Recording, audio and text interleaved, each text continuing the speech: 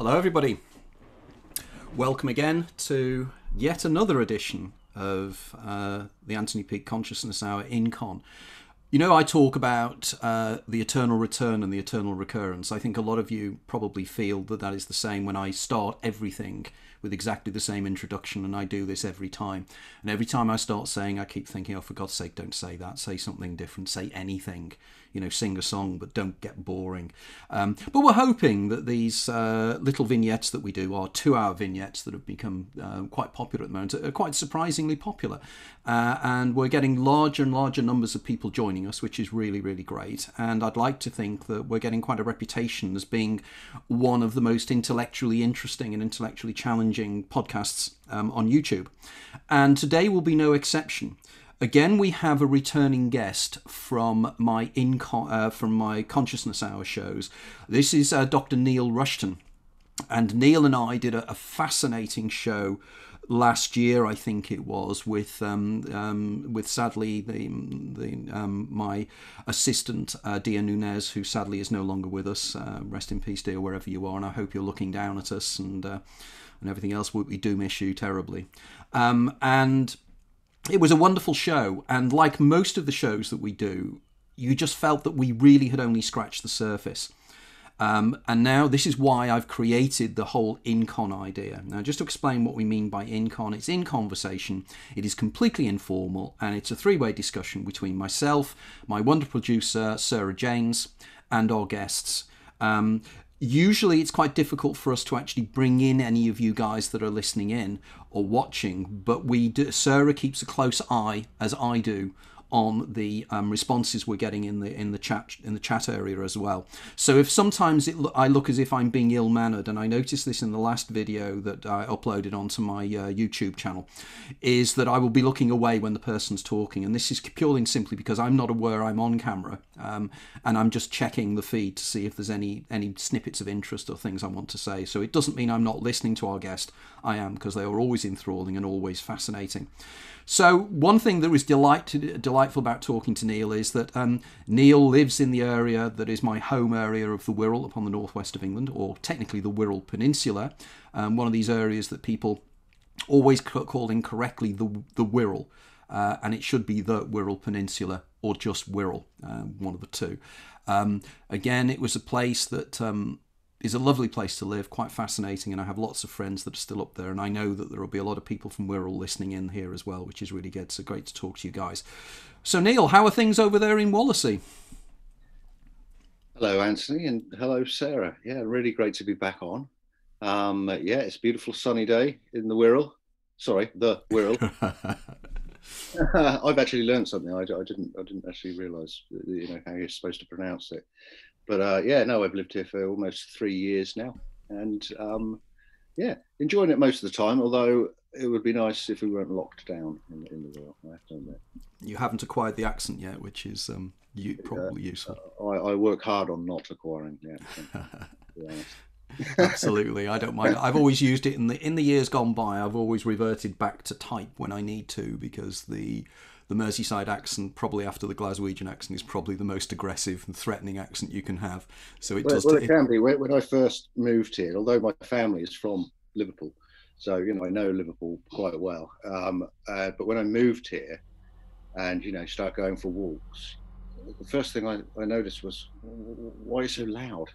what, what, what are you shouting about? But they're not shouting. It's just normal Wirral behaviour, and of course, after a few months, you just take it for granted. I, I, and I probably now, when I'm when I'm out and about, if I'm talking to someone, I'm doing exactly the same thing. But that was that was that was one little culture shock that I got. I, yeah, they do, don't they? I mean, they used to used to be the running joke, didn't they, on um, Brookside when they used to do the spoof when Harry Enfield used to do the Scousers with the moustaches and shouting, and uh, we do do that.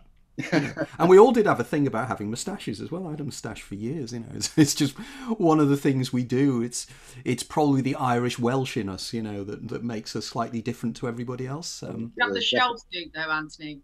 I didn't have the shell suit. No, that's most unfortunate. I never went, quite got into the shell suit image. I have to say, I think I felt that I'd be rustling too much, you know, just and it wouldn't it wouldn't necessarily go down well in the, the, the leafy leafy areas of West Sussex. Really, a shell suit.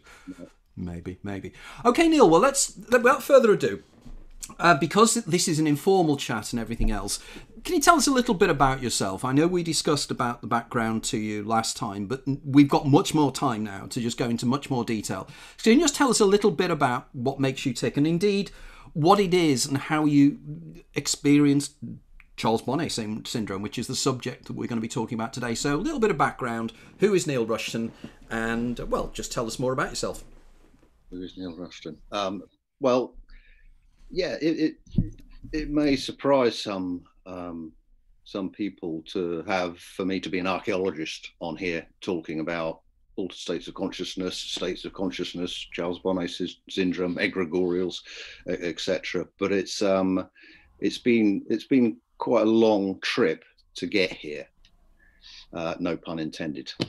Um, I so, so, well. I'll just, give you my background where I came from. I actually I actually left school at 16 and um, went to work for um, a, a, sort of graphic design company, um, and which I hated.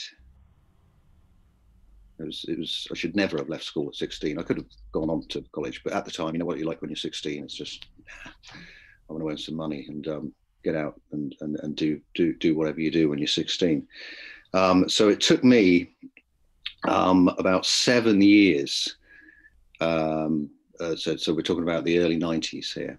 Um, uh, and in 1993, I, would had enough of it, and I just I, I, just quit. I took the redundancy, and by that time, I'd already started to really get into history and archaeology. You know, watching it on the TV, read, reading the sort of general textbooks, um, uh, that that sort of thing. So I decided to go along to um, a volunteer excavation um, as you could do in 1993. If, if you go along to a volunteer excavation now, you'd have to pay quite a lot of money for, for the privilege. Whereas then, uh, some of the local archaeology, not the unit, not necessarily the units, but the um, uh, the amateur groups, were carrying out excavations in a way they don't tend to do now. So I went along to uh, a dig being carried out by uh, an organisation called the Avon Valley Archaeological Society in the New Forest. It was. It was actually a Romano-British site, um, and uh, it, but it was it was a bit chaotic. And after two days of not really knowing what I was doing, or, or uh, amongst all these people, wasn't any sort of real training, they called in uh, a guy called Chris Curry, who was an archaeologist, and by then he was already an established archaeologist, and they brought him in to basically direct it because it was getting a little bit out of control. And Chris, um, I, I, was, I, I, will never forget this. I was digging a post hole. Um, non-archaeologists may not know that, uh, you know, post holes are pretty important in terms of evidence. Post hole, if you get timber frame building, um, you'll have a post hole into the to the natural natural earth in the trench, um, uh, which you can get dating evidence from, even environmental evidence and, and this kind of thing. And I, I I'd been set the task of excavating the post hole, but I didn't know what I was doing. So there I am scraping away the trail, thinking, "My goodness, I have no idea what I'm doing." Chris came along, fortunately, just at that time, went around the site, came up, realised what I was doing, and within ten minutes, he'd shown me what a post hole is, why it's so important, and how you excavate it um, in his very clear and concise way. But Chris was quite an eccentric, and within after that ten minutes, um, the next half an hour uh, consisted of myself and him talking about progressive rock music from the early 1970s. Wow um, which I just got into, and he had been there in, in the early 70s. As I was, as I well, was. Yeah. You know, Van Generator, Genesis, King Crimson. It was uh, absolutely brilliant. And so, on the strength of that half an hour conversation, Chris took me on as, as a field archaeologist. No experience. Wow. Um, uh, and it was just it was just a bit of luck that he came along uh, at that time. So off I went for the next few years being a field archaeologist, archaeologist and being trained up by Chris. We went, you know, so many, so many sites. I learned so much about field archaeology with Chris during that time. Um, but there came a time when he said, you, have got to go to university. You've got to get the theory and, and uh, in the background. You can't just not go to university and get anywhere in, in archaeology. So I um, eventually um, uh, got into the University of Southampton on a history and archaeology degree. Um, I carried on working for Chris. So I was very lucky. You know, I had all of this experience. So you can imagine when I started the degree, the 18 and 19 year olds mm. who were who were starting the degree with no experience whatsoever. I'd been a field archaeologist for two years. I was just way ahead. I had big advantage over them, and I was like, I didn't have to work in a bar or in a garden centre. I, I could carry on doing the archaeology to fund the degree. So, um, uh, uh, so that's from 95 to 99. I, I, carried on, got an MA, and then I was fortunate enough to get a place at Trinity College, Cambridge, to do a PhD. Wow. And the PhD, and it's nothing to do with what we're going to be talking about today, but the, the PhD was very, very materialistic, kind of data driven PhD. It was looking at uh, English medieval monastic precincts mm-hmm. and most especially poor relief and how they organise the poor relief within those, you know, the almonry complexes in those outer precincts.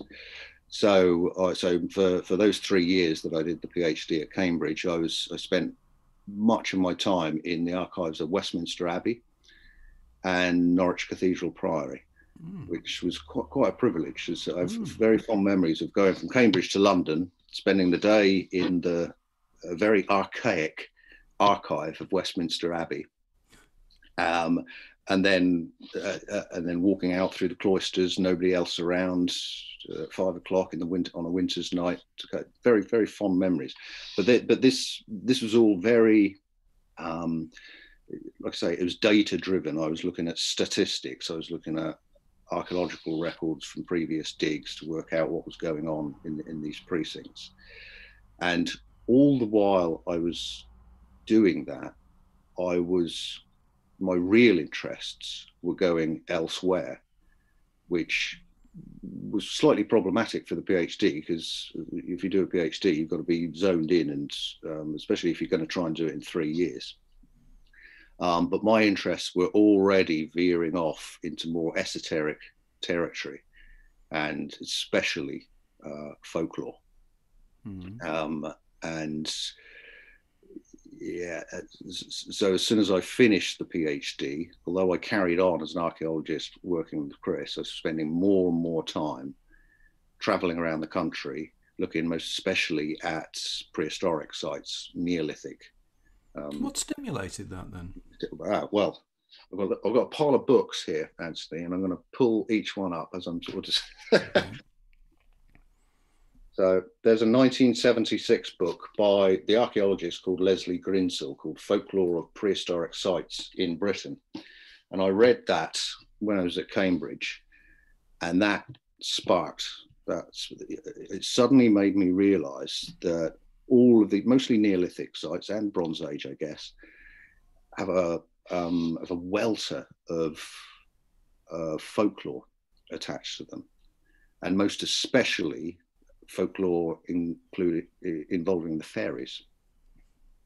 And so once I left Cambridge, I spent a, a, a lot of time traveling around the country, going to these sites. And by that time, I was already into meditation.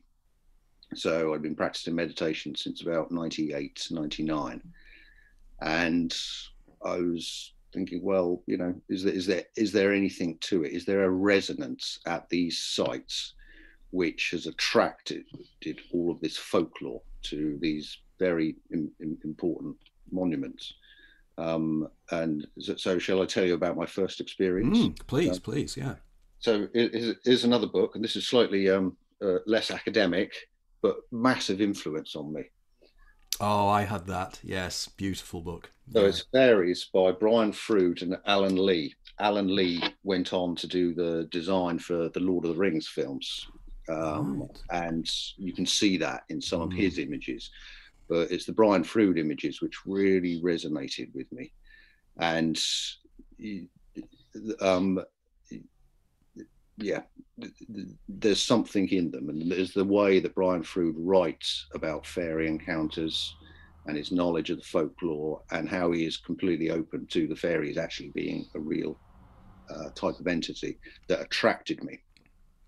And so, before I tell you about the experience, I, I do have to tell you that I had to kind of hide this side of me from um, uh, my fellow archaeologists and especially Chris, because um, there there is a there is a there's a core of rationalism which is heavy in archaeology.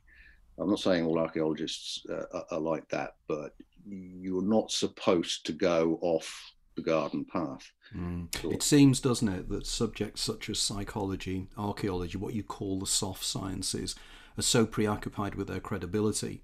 Um, They really, you know, it's the, the, the, old thing of functionalism and Talcott Parsons in sociology, and it, it, it, it means that they're so desperate to be scientific, they completely throw the baby out with the dishwater, don't they? Um, um that, that is absolutely correct, and and I soon found, you know, I tried tried having a discussion about Leslie Grinsell's book and what's the importance of the folklore with these uh, Neolithic sites with a couple of archaeologists one night, and it was basically, you, know, just this is just this is just woo woo. This is rubbish.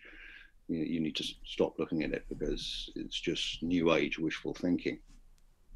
Um, I even had a, a discussion. I, I, knew you will know the late Mick Aston from Time Team, hmm, uh, yes. who who I was friends with for the last couple of years of his life before he died in 2013, and I even breached the subject with him once, and he he, he was an, he's a super rationalist, great guy, absolutely fantastic guy, and I can't do his black country accent, but basically uh, basically you said Neil, don't go there.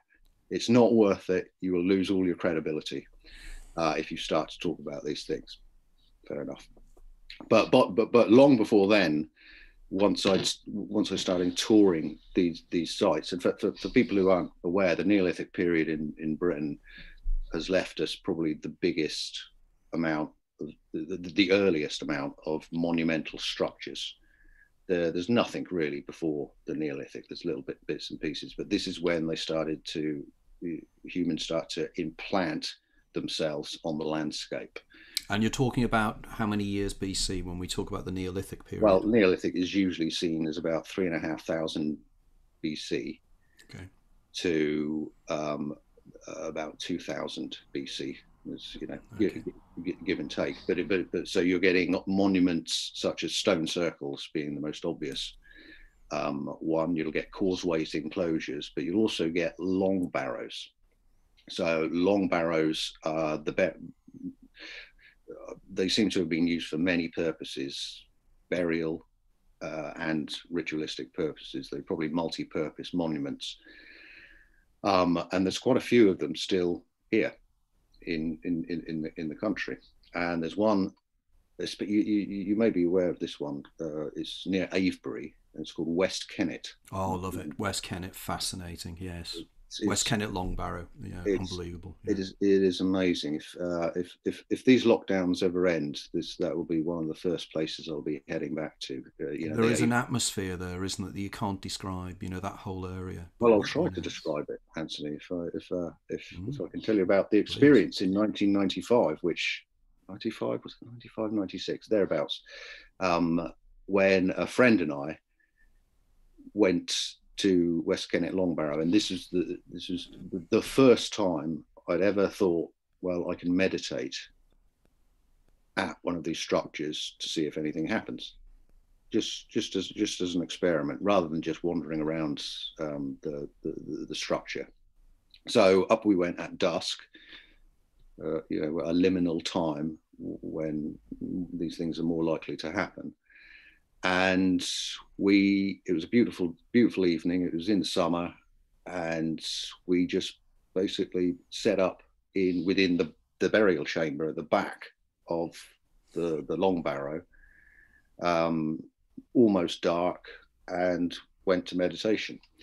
Now, I've never been able to work out when uh, what happened next.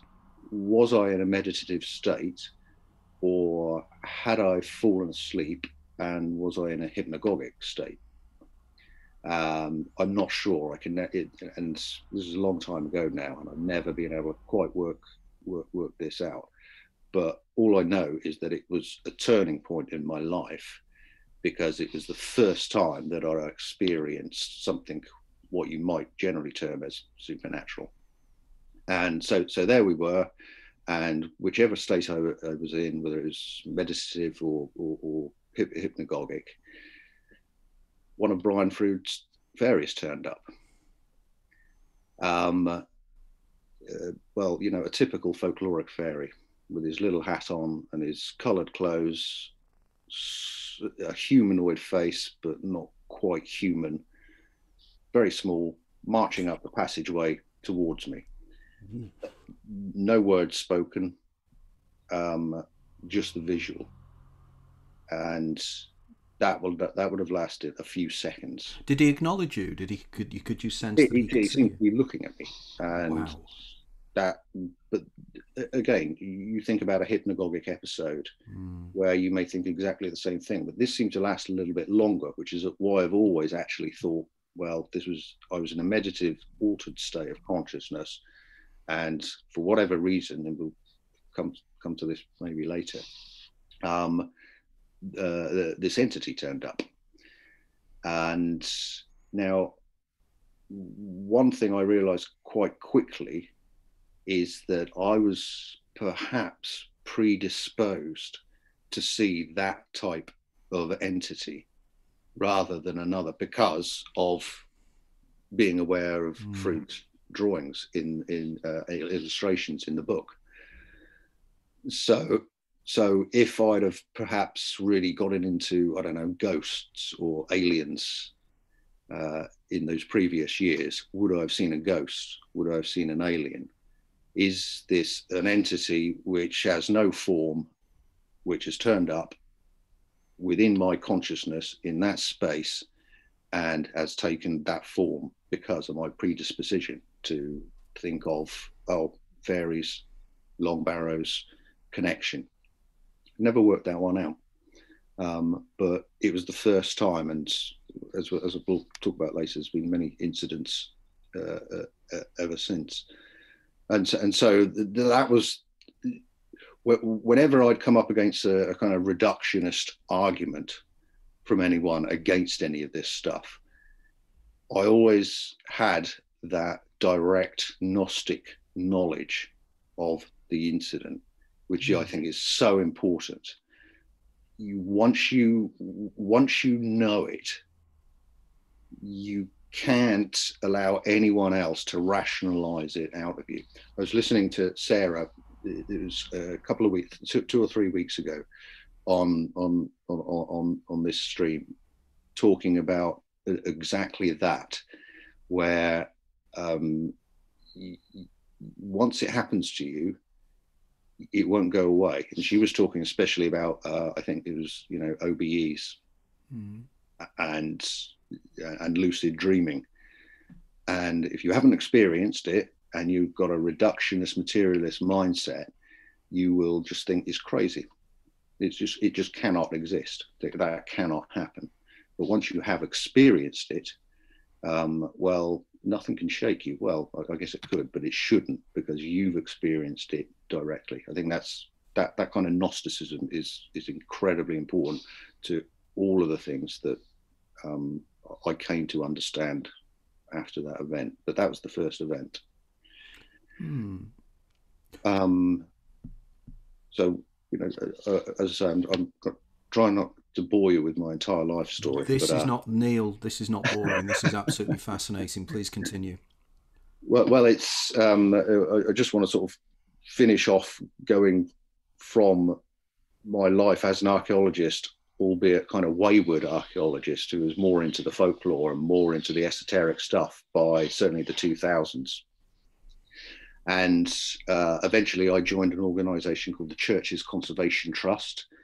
And I was more of a conservation manager um, than a, an archaeologist there, although we did quite a lot of archaeology, and I stayed there until 2015 when my eyesight became a problem.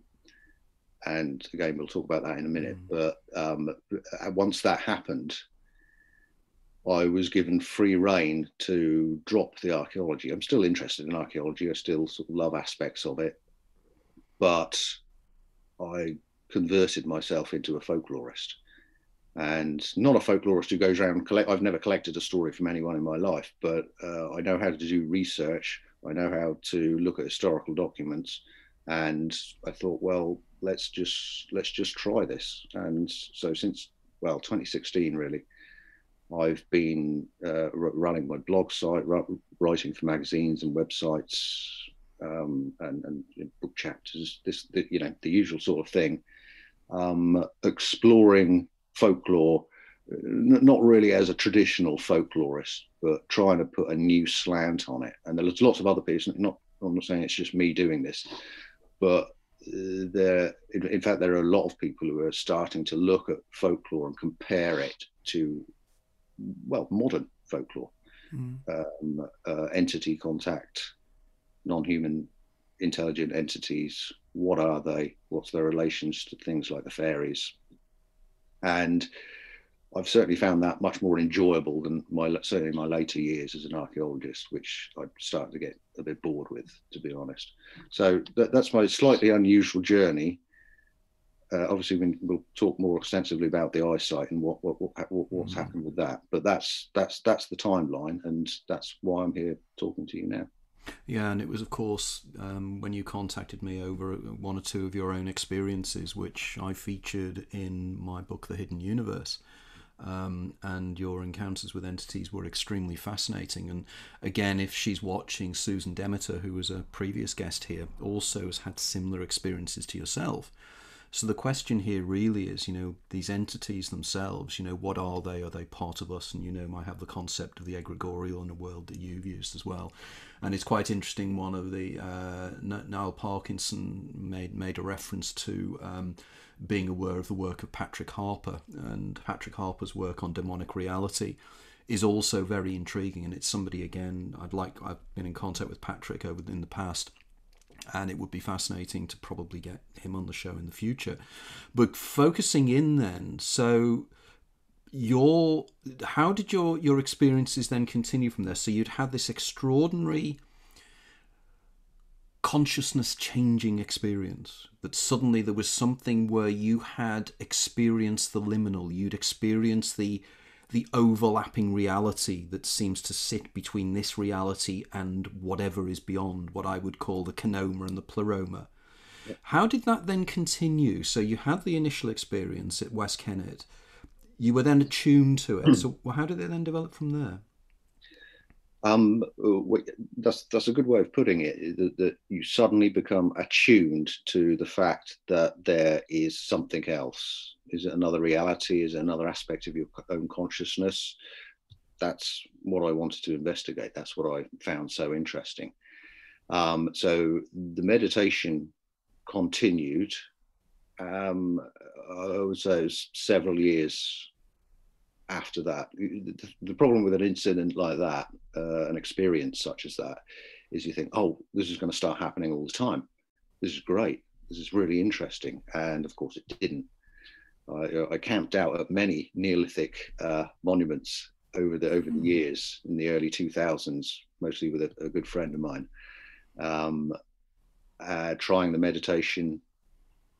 Uh, no, nothing lovely experiences, lovely places, but there was nothing. But that proves, doesn't it, that it's it's something that is is more independent of us. The fact you can't make it just happen because you want it to happen is something very absolutely. However, um, uh, well, we need to come on to the subject of psychedelics mm. because that uh, certain psychedelics can make things happen. Now, of course, the the reductionist materialist argument will always be you've just altered your brain chemicals and it's an hallucination. That's all there is to it. Explains. I, I find the people who, who, who, say that are people who have never taken a psychedelic. um, because you've got to understand what it does to you, especially at high doses and especially with uh, a substance like DMT, uh, dimethyltryptamine.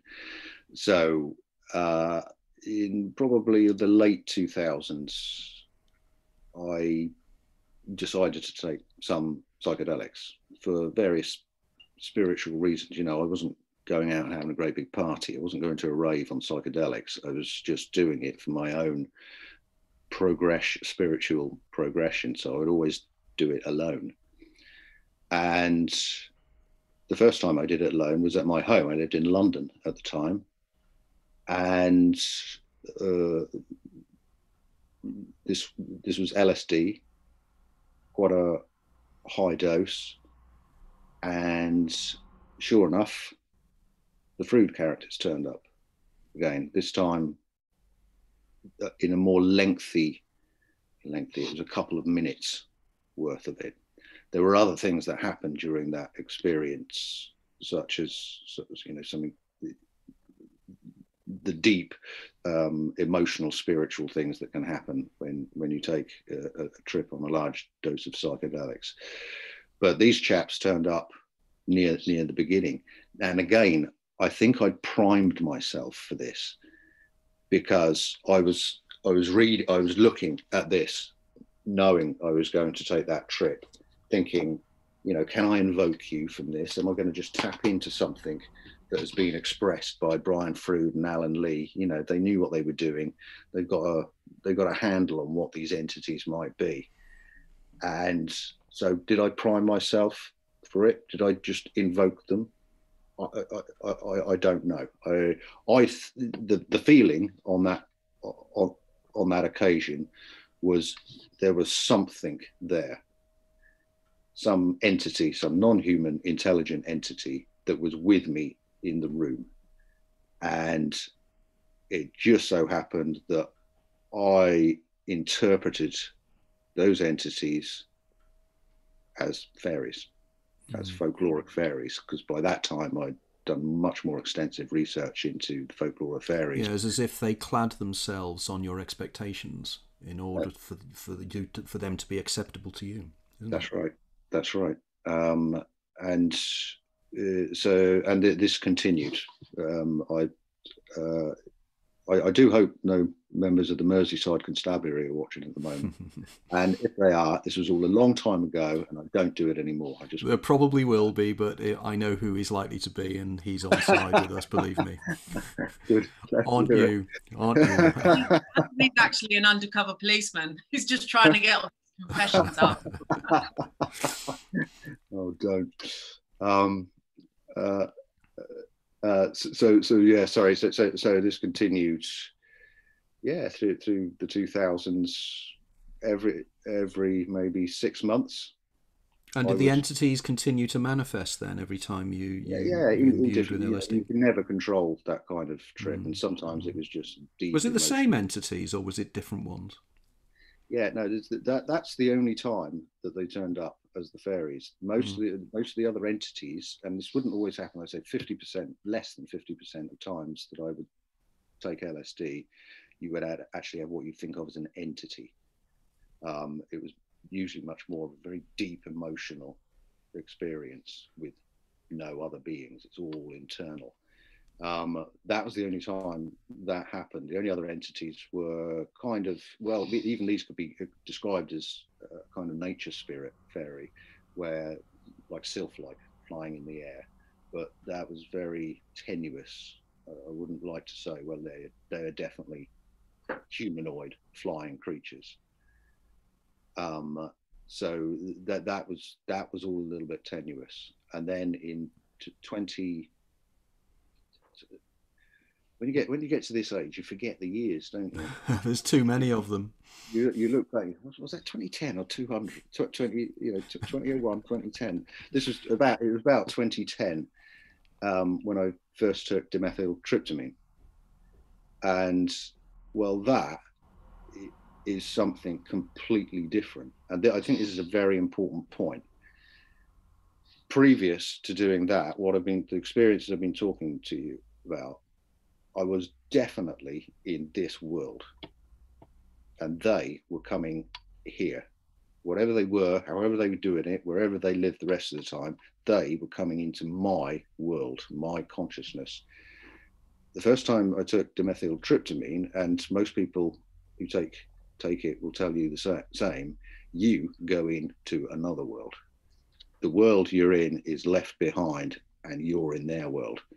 Um, both times I've t- taken it twice, and both times, well, you blast through. You'll you'll be well aware of all of the um, uh, cases from Rick Strassman's um, study of DMT in the 1990s. And I am, but if you want to explain a little bit about it for the, the, the watchers or the listeners or the egregorial watchers out there who may or may not, we have touched upon these subjects very often in these shows, but nevertheless, it, you know, reiterating is always important. Sure, sure. So Rick Strassman Dr. Rick Strassman at the University of New Mexico in, uh, in, in, the early 1990s, first half of the 1990s, was the first person to get a license to allow clinical studies on to test people with levels of injected DMT because until then it had been um, uh, what's the word? Not certified. Um,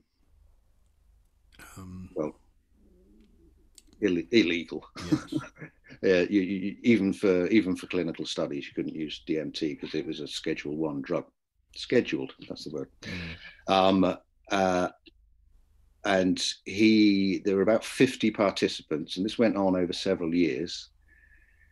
And each of them was injected with varying amounts of dimethyltryptamine, and then their experiences recorded afterwards interestingly, he got the license by suggesting this could be therapeutic.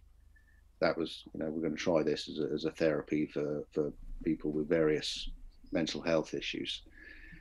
Um, but what he got was something completely different. The almost without exception, certainly above a certain dose of DMT, the people came back, and it's a very, always a very short trip, it's 30 minutes maximum.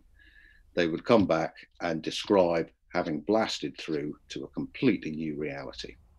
And they were so absolutely certain that that reality is as real or, or more real than this one that nothing could dissuade them um, otherwise. And he published the findings from that in a book called The Spirit Molecule in 2001. Uh, anyone who wants to find out about DMT and what it might do all anecdotal accounts, subjective accounts, of course, but there's a similarity amongst them. Uh, one of the major similarities is that once you blast through to this new world, there are entities there and they will interact with you in a variety of ways, sometimes friendly, sometimes hostile, sometimes indifferent, but they're there and they're as real as another human being standing in the room with you when you come back from that trip. And it's a fascinating study. It's absolutely fascinating, and it's backed up by um, many other studies. I don't think there's been another clinical study of that sort.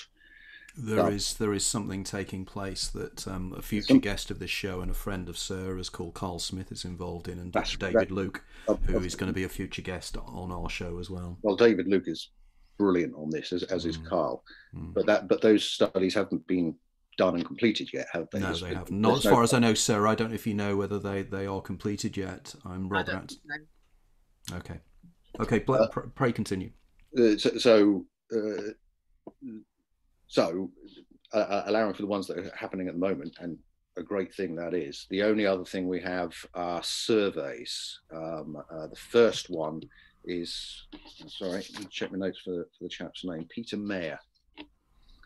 Peter Meyer, um, um, well, well, from a variety of sources, he got 360 descriptions of DMT trips, and that can be added to from the the website called Erowid. Erowid, yeah, that's just what I was going to suggest. Yeah. which has trip reports for all kinds of. Um, Can you just explain and, and spell it out for people? Because I'm sure people will be thinking this is a website I need to check out. Can you just? definitely it's it's probably the premier website for all sorts of advice on all sorts of drugs and contains experience reports, thousands, tens of thousands of experience reports on all types of drug.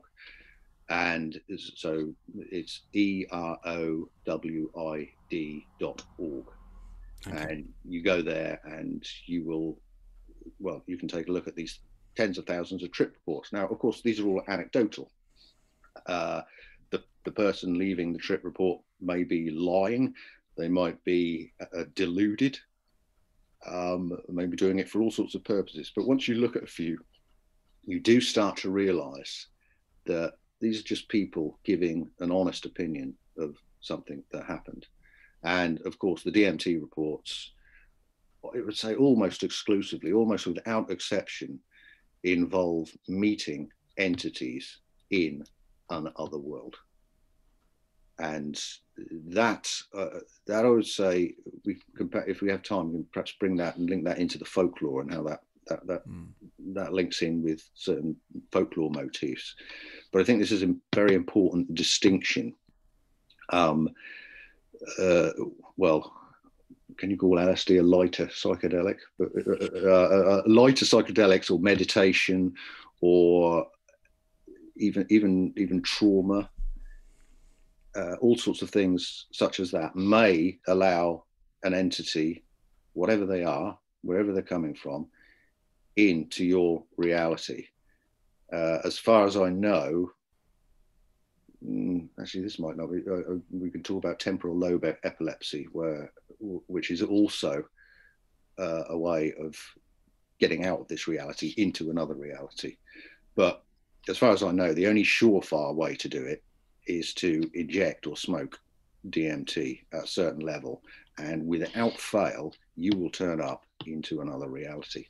And once that had happened to me, especially the second time, which was a bigger dose, it was a way too big dose. It was a bit foolish. I was a bit, I was getting a bit, uh, a bit carried away on the, on the second time.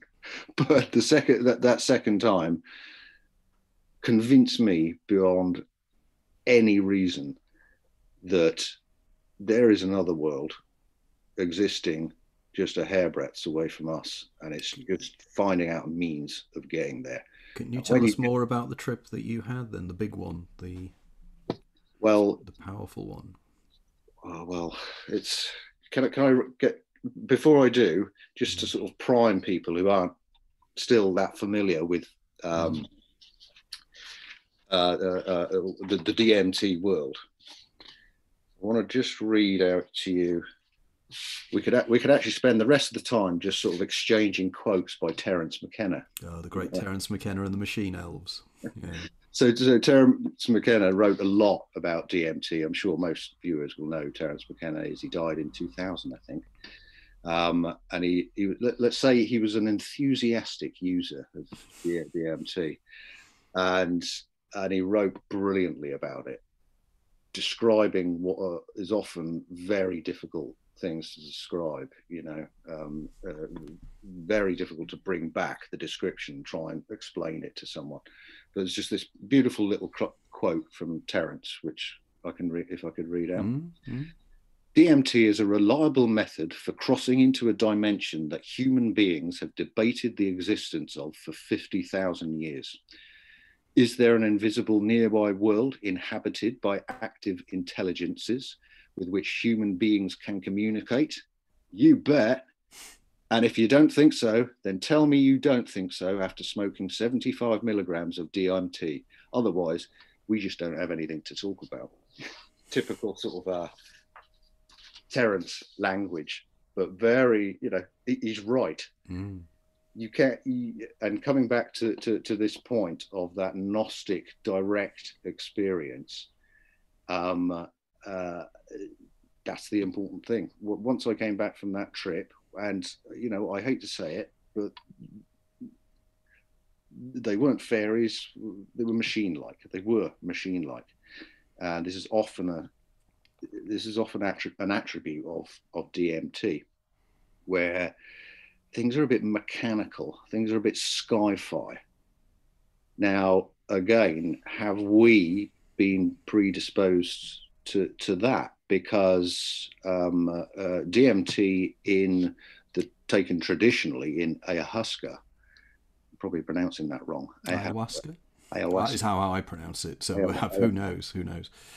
Um, so Amazonian tribal communities have been taking that, where DMT is the prime component, active component, for hun- probably hundreds of years, and they're not experiencing mechanical mm. um, uh, me- mechanical entities or machines in the same way that most Western people mm. who take DMT experience it. There, there is um, there, there is some exceptions that. I think more recently, some some indigenous Amazonian tribal people are experiencing it. There's a wonderful series of illustrations. Graham Hancock talks about these illustrations by uh, I'm going to forget his surname. It's Pablo. Pablo Maringo. Pablo Maringo. Thank you. Brilliant. We're good in this show, you know. We're good. Yeah, look at that lightning. That was absolutely. Thank you, Sarah. Um, Pablo Amaringo.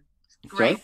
I love Pablo Amaringo. Well, his illustrations, anyone, you know, you can get it easy, just, you know, search for it, images online, Pablo Amaringo, and you will get his colorful visions of his DMT trips, ayahuasca trips. And some of them, and of course, he, he, he only died recently. So we're talking about, you know, he, he's, he's been doing this since the 1960s and some of them include uh, what would usually be described as a UFO, a UFO. And so there are elements, but maybe that's only creeping in to the indigenous people's ex- experiences because of the Western influence on them previous to to to say the 1960s when Westerners became aware of what was going on in the Amazon you don't tend to get any of that description. It's, it's all about reptiles and animals. So, so that I find that interesting, and it comes back to that experience, your pr- predisposition to what you're going to get, and even if it's a totally mind blowing DMT experience where you have no control over where you're going, even then, the entities or the environments that you turn up with will meet certain expectations. I think we were talking about that. I can't remember what session it was on, but the kind of cultural specificity of dreaming, for example. Mm. And if you do start talking about um, going into other realms, that those realms do meet cultural certain cultural expectations. Like, like you say, Amazonian tribes people don't generally dream of Croydon High Street and uh, people in Croydon High Street don't generally dream of being in the Amazon rainforest. So it is like you're you're creating those realms in your mind to some extent, and maybe fitting your preconceived ideas onto the nature spirits. I like the idea of that. That makes mm. that makes a lot of sense to me. I find it really fascinating what you're saying, actually, because I feel very similarly about my fascination with ancient history and archaeology comes from this idea of trying to get into the mindset and the philosophy of ancient people. And I don't really understand um, archaeologists being so uh, short-sighted often with that because surely the most fascinating thing is the lived experience of those people that they're researching and yeah. wanting to imagine what their life was really like on the deepest possible level. Yeah. I, would say i'd say a good example of exactly what you're talking about there is graham hancock. Yeah. Um, now I'm, I'm a great fan of graham hancock. I think he's done some fantastic work.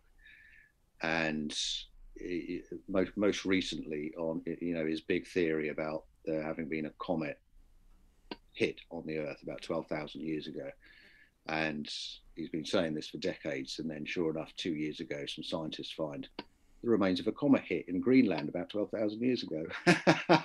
Whereas Graham Hancock was taking so much flack for some of these theories, which, you know, they're tenuous theories, they're hypotheses, but he's not plucking it out of thin air. Mm, exactly. Uh, the guy's a good researcher, and he's taken so much flack, and I'm so glad that he's getting some uh, credence now. And some archaeologists are just having to shut their mouth.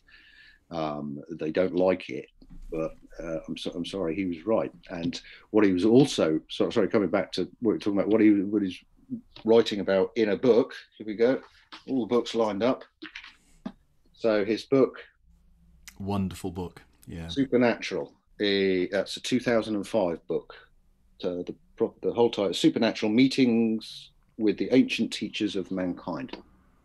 Um, and in that book, that was very influential on me when I read it. I didn't read it in 2005, it was later than that, but it's very influential because what he managed to do was link up ancient cave paintings with folkloric fairies and then uh, alien UFOs, mostly in terms of the abduction scenarios.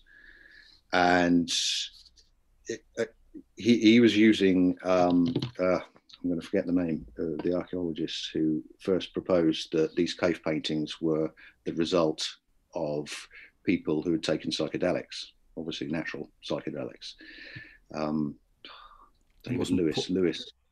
Lewis. Hmm. Lewis is a double barrel name. It'll, it'll, come to me. South hmm. African guy and he was this was in the 90s in the 90s he first came up with this theory because there are so many what are called entoptic images in these cave paintings like swirling patterns and they match exactly the same as patterns that you see when you're coming up from lsd or, or a psychedelic and it's consistent in all of these cave paintings um, and then these cave paintings uh, in, include humanoids uh, of various types what what Hancock calls uh, therianthropes, so sort of part human, part animal.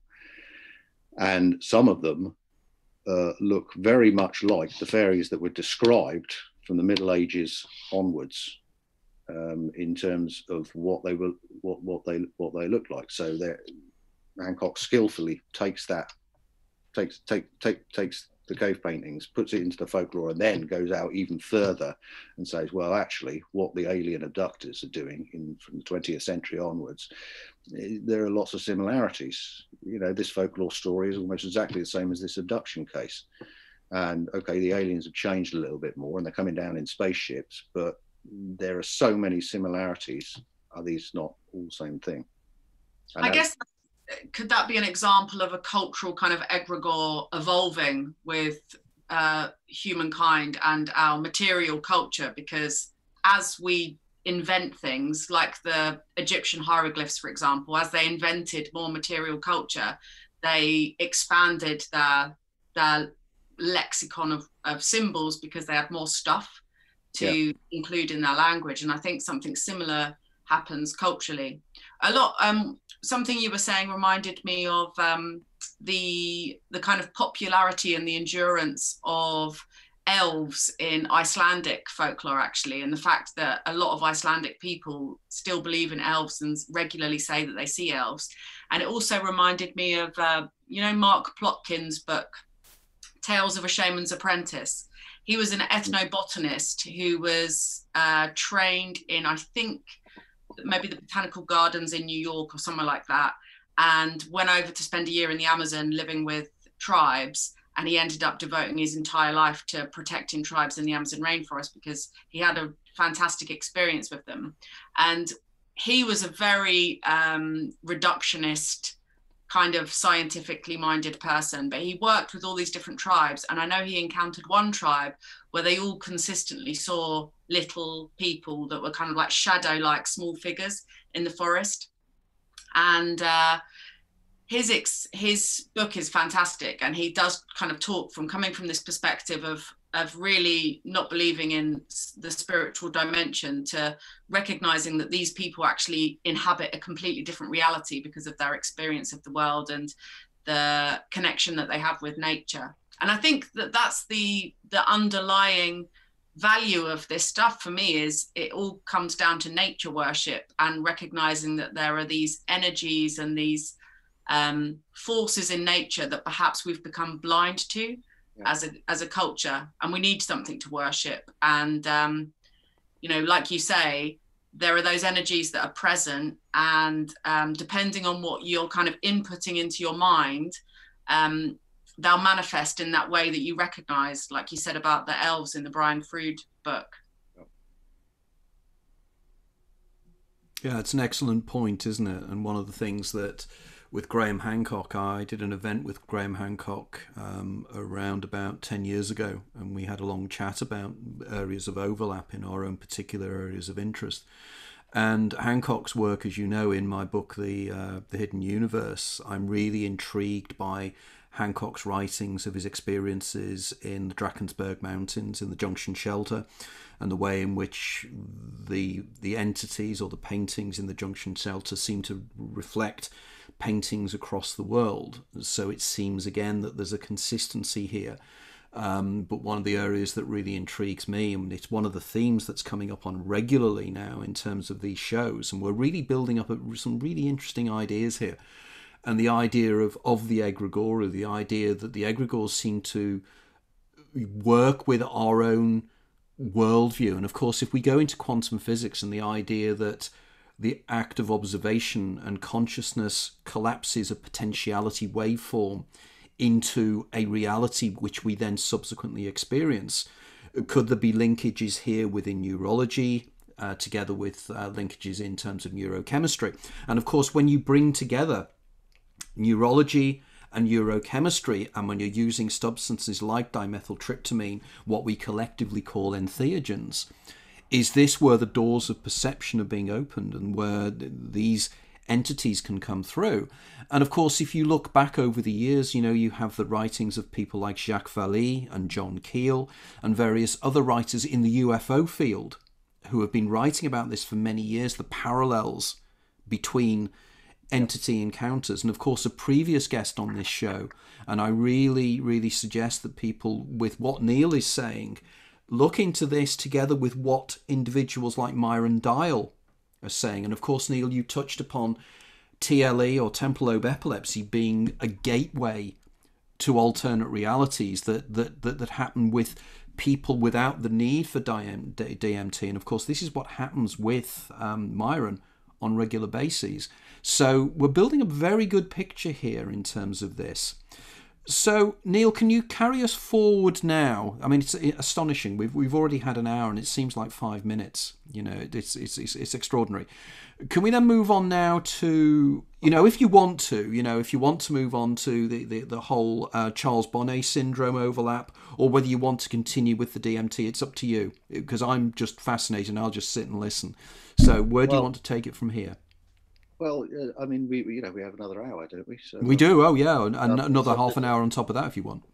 There's there's as we as we have plenty of time, and as we're kind of maybe just flesh out a little mm, bit. Mm, yeah, great. Um, what what you and Sarah and I have been talking about in terms of okay, we've, we there are entities. Are they coming into this world? Can we go into their world? Where does our world exist? Where's the overlap? And coming back to someone we've just mentioned is David Luke, um, who is just one of the preeminent people studying DMT uh, in the, in recent years for sure, and you know, jolly good chap and very good, very, very good range of publications. Just check David Luke's publications out, and you will get all the detail you need for trying to understand that. And I always come back to his where, where he, he's talking specifically about the DMT experience, but this could be applied to any, any entity experience brought about by any means. And he bases this three part interpretation. He actually bases it on Peter Meyer's 10 part interpretation, but I think David Luke's is much more concise.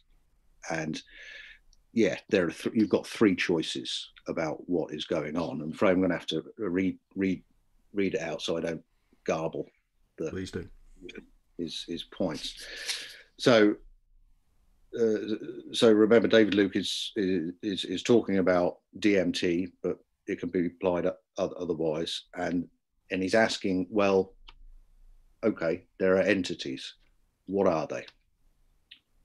One they are hallucinations. The entities are subjective hallucinations.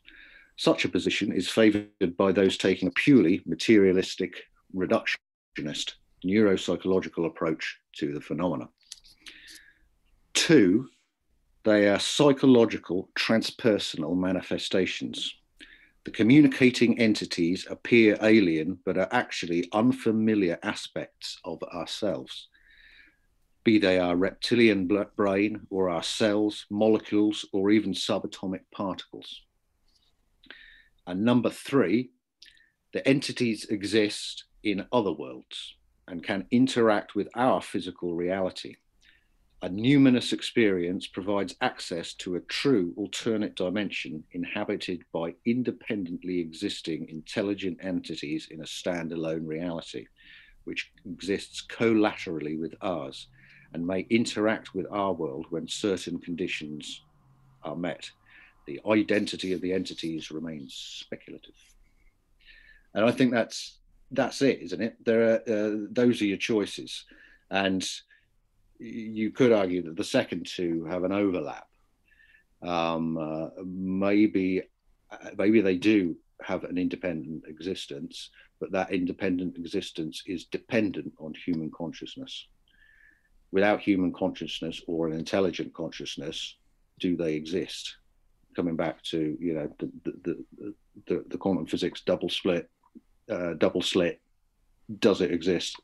without someone there to to to see it to observe it is is the observer absolutely essential that so you know I, I, I would certainly dispense with the first one because although people have hallucinations hallucinations can can can can, can happen what we're talking about here um, has a tangible reality whether that reality is within your consciousness, after all, what else do you have but your consciousness, or whether it is some separate entity, um, uh, intelligent entity in their own world, which, however you cross over it into it, or however they cross into our world, it exists and it exists all the time. You know, one thing I find really fascinating about the DMT experience, because a lot of um, what you're talking about, I always look at it through the lens of dreaming and the ability of dreaming to create these incredible, fantastic environments. And especially if you're lucid, you have that experience of this is more real than real. Um, and one of the things that I think is uh, key to understanding ancient cultures and ancient spirituality is this ability of dreams to put you into contact with the ancestors so that you can dream of dead people and communicate with them and make peace with them and receive wisdom from them. Yes. Um, and one thing I wonder about DMT is it's interesting that you don't see anyone that you know, or I've never really heard anyone talk about a DMT experience in where they're talking with people that they're familiar with, like you would in a in a dream. There, there, there is there is one example I can think of from Peter Meyer's report where someone's talking about meeting their dead father. Mm. But I can't think of it yet. That is extremely unusual. Yeah. That's a very interesting observation, isn't it? You know, yeah. it does mean qualitative difference between dreaming and DMT experiences. There's That's, definitely, uh, very I think there's definitely a qualitative difference, um, but also perhaps a similarity in terms of what we've just been talking about in how do you interpret these entities. Now, I've I've listened to, to you talking about dreams, and I've um, um Sarah. Oh, sorry, I've listened to Sarah talking about dreams, and uh, who was it? Who was it? I, I was it? Were you talking about with Kaz the other week? Possibly, yeah. Um, uh, uh, but uh, but you were talking about you know, do the people in the dreams that yeah, you're dreaming, yeah. do they exist? Um, uh, and again, I can't remember who said it. It was a very memorable um, image, though. You're in a dream, and in that dream, you want to say, right, all, all the people who don't don't really exist, who are part of me, can you all clear off? And uh, and the real ones, the real entities from somewhere else, stay in the room. Right, that's very interesting because I've always, until recently, I've always seen dreams as basically David Luke's number two. They are within your consciousness, you are simulating that reality totally by yourself. Everyone in that dream, every environment, every piece of action, you've made the lot up. Mm. And you will only uh, when you transcend from that dream, you come back to this. And this is, uh, I know you're going to argue against that, Sarah, but uh, I would, I would say that there are definitely, I think that's a lot of dreams, and then there are sometimes dreams where you feel like you've had contact with something that's beyond your sphere of influence. I, I, guess if it's a lucid dream, that kind of blows my interpretation out of the water. I think, yeah, I see uh, because I'm really familiar with my dream life, and I think sometimes I've, especially doing a lot of dream works, I mean, I meet a lot of people that have taken psychedelics and they haven't really ever got into their dreams, and so for them, a psychedelic is just like this is something I've never experienced, even had a taste of an alternate reality before. Um, but I think you know, like when we were talking to Rebecca Sharrock, for example, her highly superior autobiographical memory and the fact that she can remember every dream and she's lucid in every dream means that she kind of knows where every single thing in a dream comes from and she can make a kind of judgment about its origins and why it's there. And she can reference it back to things from her memory. Um, and I found that fascinating because, to a lesser degree, I feel also that a lot of the stuff that's in my dreams, I can be like, oh, I know where that came from. I know where that came from and it can be things like words like you're talking about looking at your fairy book and then thinking i'm going to see these entities I, whenever I read novels before bed, there'll be something from that novel that's in the dream, whether it's manifesting a visualization of a word that I may not have taken account of in a way um, whereby I've thought about it too visually. But there's so much information that we is seeded into our mind that we manifest in dreaming but yeah. yeah, I mean, ultimately, I think for the most part, dreams are all generated by uh, your subconscious and your mind and your human experience on Earth, um, and they're kind of reorganized in different fantastic ways. But then I would definitely also say that there is occurrences where you you are able to contact something beyond your individual consciousness and i feel like i've had experiences whereby I've made contact with the collective unconscious, if you mm. if you want to call it that. Yeah, well, obviously that's that's that that kind of Jungian collective unconscious will most often appear in dreams, mm. according you know according to, to Jungian psych, psychologists. Can, can we just go right off piste a moment? Absolutely.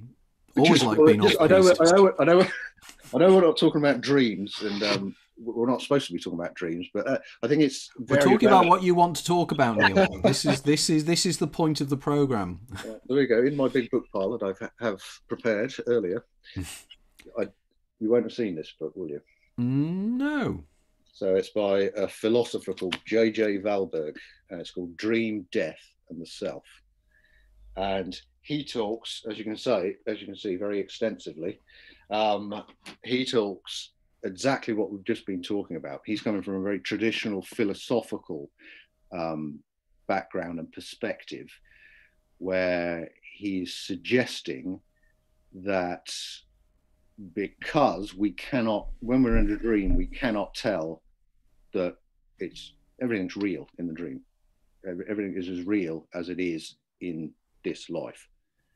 And therefore, how do we know that this isn't a dream? And how do we know that when this dream stops, we will just transcend and we will remember this as we remember every night's dream? Obviously, he, he does that um, uh, uh, more extensively in 500 pages than I just summarized, but it's, a, it's, a, it's an amazing book. And Sarah, if you're into dreams, some of the language is very thick philosophical language. Yeah, he's, he's, he's old school philosopher. How long ago was the book written? Is it comparatively new? Yeah, it's um, 2000, I think. Hmm. Let me see. Two, oh no, 2007. Right. Okay. That's that's well worth sourcing a copy of that. I think that looks quite intriguing. Yeah. I, yeah. It, it, unfortunately, it's fifty quid to if you if you want it. But, um, it's um uh, uh, the Anthony Peake Book Club. yeah, absolutely. Yeah, we'll put it there. It's it's a, it's a difficult read, and it's it's what um, uh, this is where I'll end this because you know I, I know we're not I know you say we can talk about anything, but this is sort of really going off piece. Well, he also has the best section I've ever read on the subject of solipsism. Mm. Um, and solipsism is something that has always fascinated me. And and you alone. I've, ne- I've never well, well, you know, obviously you and Sarah don't actually exist. No, of course we don't. We're just um, figments of your imagination. You are, and how can I prove otherwise? You can't. That's... So tell us more then. Where does he Where does he go on solipsism then? Well, it, most philosophers, it's become a bit of a taboo subject. It has, which is bizarre because really, it's the only thing you actually do know. You know, but going back to Berkeley, you know, the, the, you know, exactly, and that is exactly what um, Valberg says, and he's very reluctant to do it. He's very sk- skillful. He puts up every objection like a proper traditional philosopher. Mm. philosopher. Here's the objection: can't possibly be true, but actually, it is true because you cannot get out of your consciousness. He calls it the horizon, the consciousness horizon.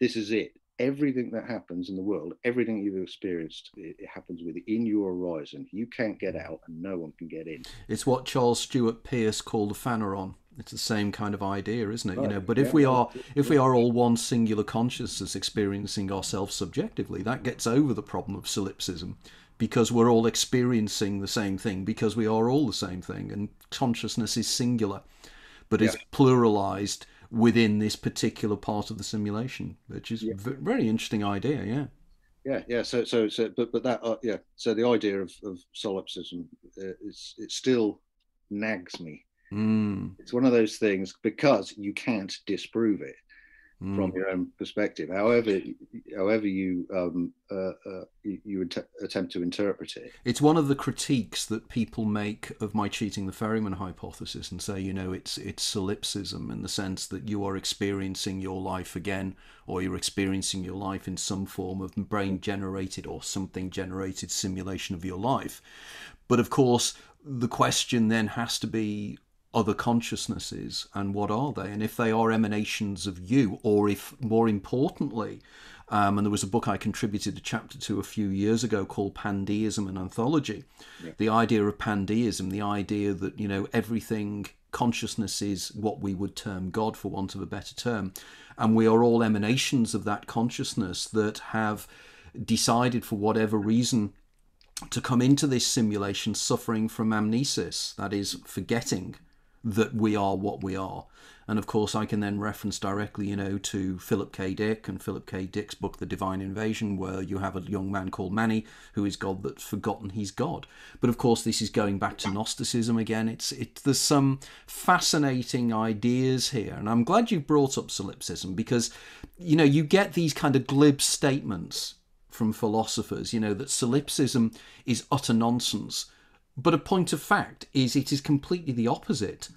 You know, it is the only thing you can actually know. You know, and... that Valberg again. You know, after after he puts up a hypothesis against it, every time he comes back, he says it's the only thing you can actually know. Mm, mm. And of course, you know, he uses the dream an- analogy you know, you're in a dream. You think all those people exist. You think they're all consciousnesses. mm yeah. You think, you think, you're interacting with another person. Well, no, you aren't. You just made it all up. So I know because this is the argument when people. Sorry, sorry Sarah, go on.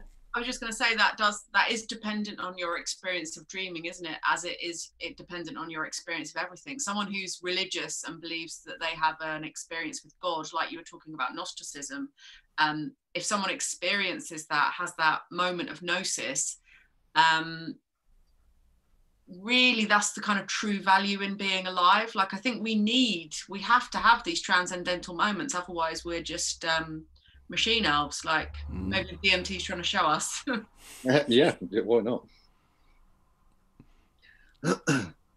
Well that was a fascinating aside and i think a very important one because you know it's one of the areas that i think ultimately you know we are born alone and we die alone and you know that that is a statement of fact you know and everything quantum physics is very much telling us that you know this relationship between the observer and the observed and the feedback mechanism between this you know that there's something you sometimes feel don't you that it's it's something you can just about understand just on the further reaches of your understanding, and sometimes you can grasp it and sometimes you understand it you know it's the idea of the the idea of this kind of sudden feeling of inspiration sudden feeling of understanding but you lose it again. And these tend to happen in dreams don't they? You know you have a, a dream sequence and suddenly just before you wake up you've got it all you understand it all and then you lose it all again. And again this is the wonder of consciousness isn't it? Yeah. And and a good reason to keep a dream journal. Yeah very much so. it's um yeah yeah it's uh uh, I have to say, sorry, we're going off piste again here. It's all right. Where, where, where, where do you want to take us in terms of the piste now? Well, it's, it's just dreams during lockdown. I've seen so many mm. people, uh, you know, in my friends' net, network, social network, talking about how crazy their dreams have been. Oh, I love that. I love that people are starting to take notice of their dreams. I've been phoned up by the BBC, like local radio stations, all the time to talk to people and it's really funny because their um, presenters will always be like i'm having these really weird dreams and um, you know it's about um, crawling with ants or uh, not being able to see my family and friends. What does it mean? And you know i think if like i was saying if you're not familiar with your dreamscapes or the way your subconscious mind works yeah. people are really bamboozled by it. But um yeah, and and and when it when it gets onto the mainstream like that, there's always that horrible tendency that they always carry through. There's an element of oh, well, it's a load of old nonsense. Really. Yes, it's very irritating. You get that. There's always the caveat you know that yeah. of course this is all nonsense and, and they have to make it kind of semi silly they'll either put silly music in the background or and you know this is the most important thing and this is why podcasts like this are so important. We're, we're taking it a totally different way. You know, we're saying this is intellectually stimulating, it's intellectually fascinating, and it's backed up by academic research. You know, let we don't need to go to the sky pilots for this. You know, we can back it up with known psychology, known research. As yeah. you said, the work of Rick Strassman and various other individuals. But this whole lockdown thing is very intriguing, isn't it? And that suddenly people are create their, their own dreams are starting to, to, to emanate outwards almost. So you you sent me an article that that you'd come across, which I thought was very interesting. Do you want to touch upon that now because this is the perfect point to to move back on piste, as it were, yeah, and yeah, and well, go downhill. Well, the, th- the thing is, we haven't really talked about Charles Bonnet syndrome. We need to, which we need to. Should we go there now? Let's go there. Go there first.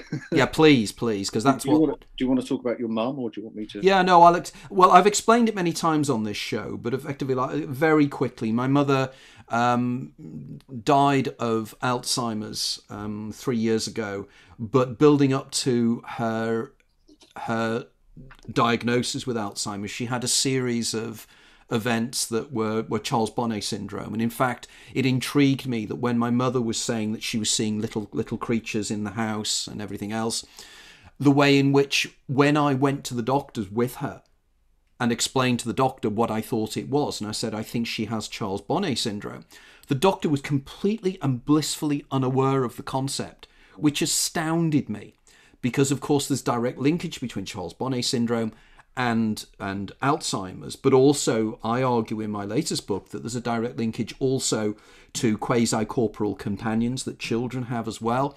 That these are all the same phenomenon, and Charles Bonnet syndrome is is singularly one of the most intriguing elements of human experience um, Siri Hustvedt, who is quite a famous American writer in her 30s, and she describes, which I describe in one of my books, her experiences with, with Charles Bonnet syndrome. But you are an experiencer of Charles Bonnet syndrome as well. So, can you tell us a little bit about it from your point of view and your analysis of the subject? Because this is for you to talk, not for me. So, tell us more. Okay, well, well, people you should first know that Charles Bonnet was a uh, Swiss naturalist in the 1750s, and his father suffered from glaucoma. And he noticed that his father was seeing what he termed at the time hallucinations. Um, he was seeing animals, children, all sorts of shape, shapes um, and, and, geometric shapes. So so he studied it further and then published. I, I can't in the 1760s. Um, he published a couple of papers for the Royal Institute, after he'd examined this phenomenon in in a couple of dozen people. So that's where the name comes from. That's why it's called Charles Bonnet, not Charles Bonnet, as I, am ashamed to say I used I, I, used to call it Charles Bonnet, Charles Bonnet. Um, so so that's where the name comes from, and so it's been known since the mid 18th century that this is a syndrome. Um, before before I talk about Charles Bonnet syndrome, I, I, need to just quickly say how what happened to my eyesight. Yeah, no, absolutely. Because it links basically because just to explain, my mother lost one of her eyes with malignant melanoma and she had glaucoma in the other. So she again, when she started experiencing these things, was partially sighted. Right. Um, well, I'll come to that. That's an important point, actually. But um, so uh, my eyesight, I have uh, in 2014, I had a central retinal occlusion in my left eye, which is basically like having a mini stroke in your eye. And so from from that date, my left eye was blind. There's light input, but it's it's basically blind, and nothing you can do about it. Um, now, unfortunately, at the end of 2015, I managed to fall down the stairs in my then house and bash my head on the stone floor. And when I came round, um, the eyesight in my right eye was diminished. Oh, and after a couple of MRI scans over a year, it took a year for them to work out that there'd been an oxygen blockage in the neural cortex, and that caused damage, which was causing this vision. Um, whenever, of course, a lot of people have difficulty with visual impairment in that people think you're blind or you're not blind. There's nothing in between. And uh, of course, that's not not true. So I, am fi- always finding myself having to explain to people what my eyesight is like, and the nearest I can ever get to it is close your left eye and squint your right eye. That's that. It's not quite right, but that's as close as I can get to to explain it. So that's it. So so it's a limited vision. I can't can't drive a car. Um, I you know I, I can't do many things. Uh, I can read as long as the, the, the, text is of a certain size. Um, uh, so, so I'm okay. I can get by, but um, that's that's the limit of my eyesight. Um, and after having five years to get, I mean, the first year I was always tripping over things and bumping into things, as as my brain was adjusting to loss of peripheral vision and lot, well, loss of complete vision in the left left eye. So it was, as you can imagine, it was very traumatic uh, for for that to happen. And with it, so we're, talking about the end of 2015, the start of 2016. I'm living alone um, in quite an isolated cottage in Somerset, which caused a lot of problems, as you can imagine, without being able to drive. Um, uh, I had to leave my then job. Um, this is what we talked about earlier when I left the Churches Conservation Trust and decided to become a folklorist. Well, that took several months because when you lose that amount of eyesight, the trauma that goes with it is quite extensive. And I had a very, very difficult time with my mental health mm. and just trying to come to terms with what, what had happened. Um, and it was at that point, it was in February, so this time in 2016, um, when I first experienced Charles Bonnet syndrome. Now, remember, by this time, uh, I should have been used to entities coming into my reality through psychedelics, through the meditation, many years, and I'd come to accept that that was how things are. But of course, if you're meditating or if you're taking a psychedelic, you are purposely attempting to change your consciousness so something might happen. Uh, the first time Charles Bonnet syndrome happened to me, it was totally out the blue. I'm just sitting on the sofa in the in a low light in the evening, and um, so uh, of course, this sound, after what we've been talking about, this shouldn't sound crazy, but every time I talk about it, I'm thinking people listening to me are just going to think I'm insane. and we'll come back to you know how important that is for for for, for people with this syndrome. Um, so once again, the Brian Froud furries turn up. Uh, you know, a troop of them, three or four, four of them, walking along the armchair towards me. Um, well, what what do, what do you think? I knew nothing about Charles Bonnet syndrome at this time, by the way, as didn't know it existed. Um, what do you think? Was I in a meditative state? Was I falling asleep? You know, she immediately started to rationalize what, what's going on, what, what's, how, what, what is causing this. Um, but none of that was true. I was wide awake, and there they were, and it lasted, and it lasted a minute. It lasted a long time. They didn't do anything. They didn't really interact with me, but they were there. They were on that armchair. At the time, I didn't reach out to see, you know, is there something there? and I was also totally unafraid. I mean, if if if a band of little blokes turn up into your remote cottage and get up onto your armchair, you might think, "Whoa!" But I, it was it just there was absolutely no fear. It was just, "Oh, this is interesting. How long is this going to go on for?" Um, and then they, I can't remember how that first time finished. I can't remember what happened. Um, but then this became a regular occurrence. Um, and this is the case for most people with Charles Bonnet syndrome. Uh, it, it, doesn't go away. Some people will get it once every six months. Some people have it every week. Uh, the experience I'm talking about.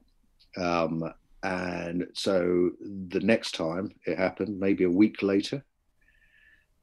And remember, I, am obviously that experience is having me think throughout the week.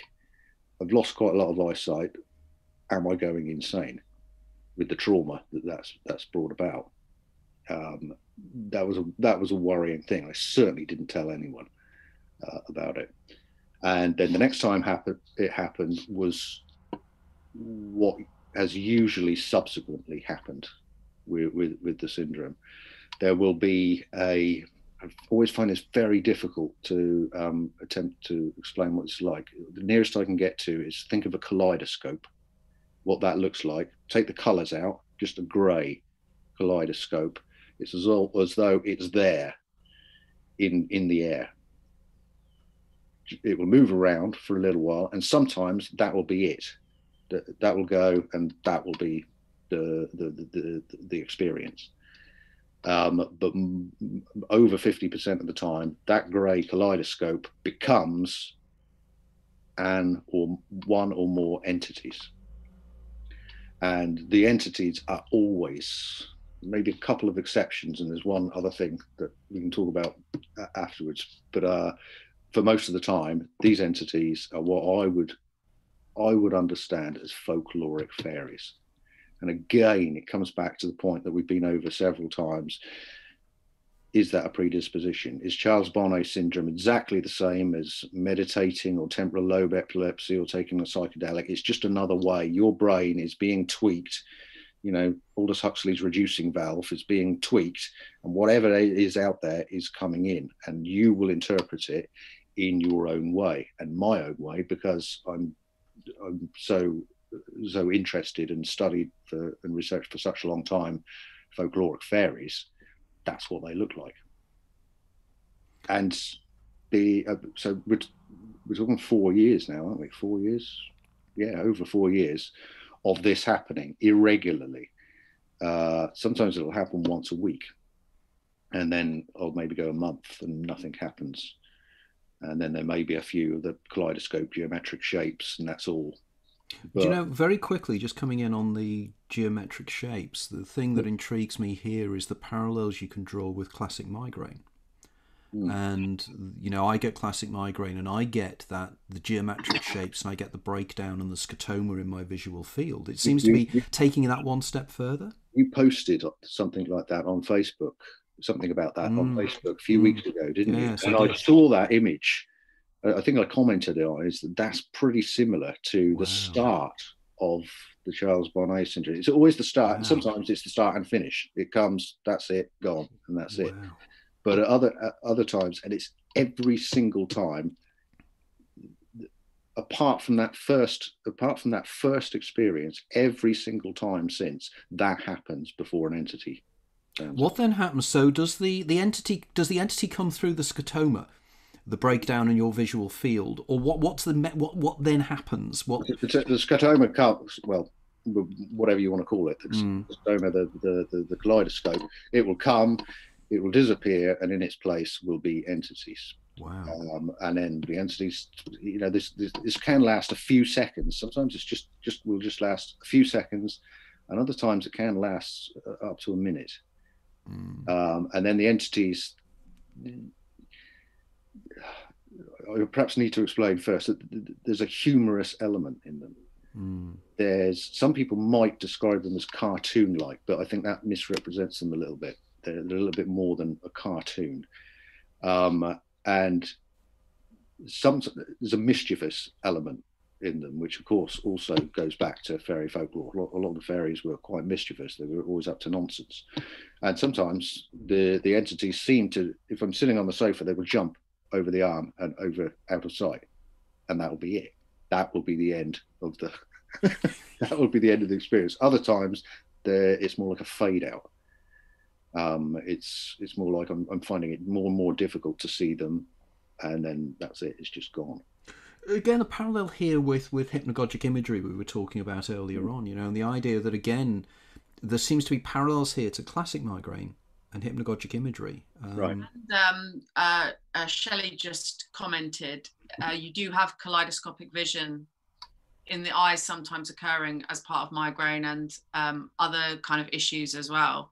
Um, and it is interesting to me, uh, really interesting to me because it reminds me of um, when I was a kid and I used to push the palms of my hands into my eye sockets mm. and see uh, lots of different shapes, and that with wild with this with the wild technique of going into a lucid dream from being awake, you have the experience of seeing something like um, a pattern like a, you were describing the kaleidoscopic pattern and it's almost like an interference pattern hmm. that mm.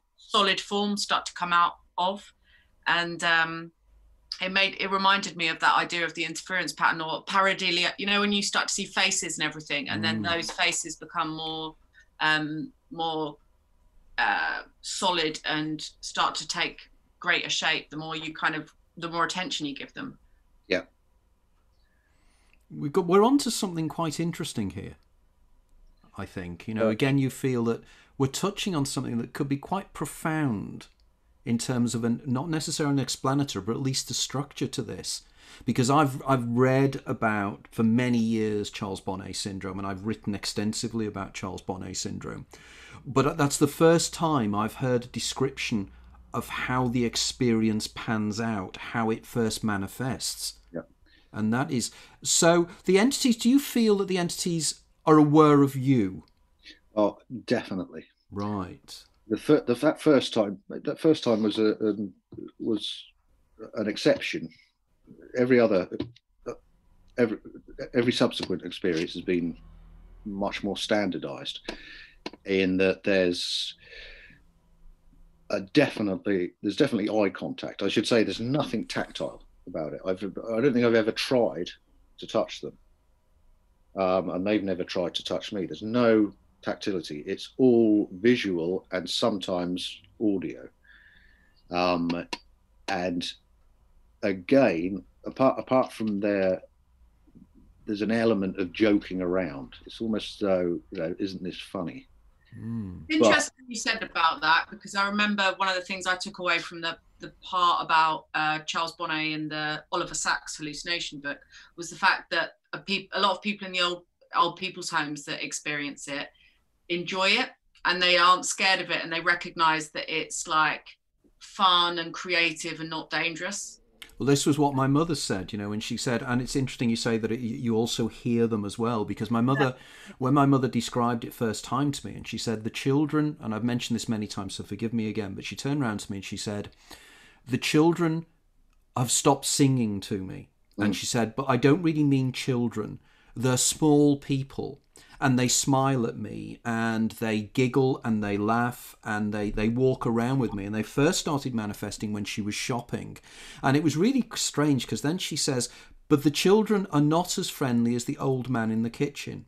Mm. And then I said, Which old man? And she said, Oh, he's always very friendly. He smiles and he nods. Now, there could be a linkage made here again. And if you've not read this book, it's again a previous guest on this show, which we must get back again, Sarah, is a lady called Maggie La Tourelle.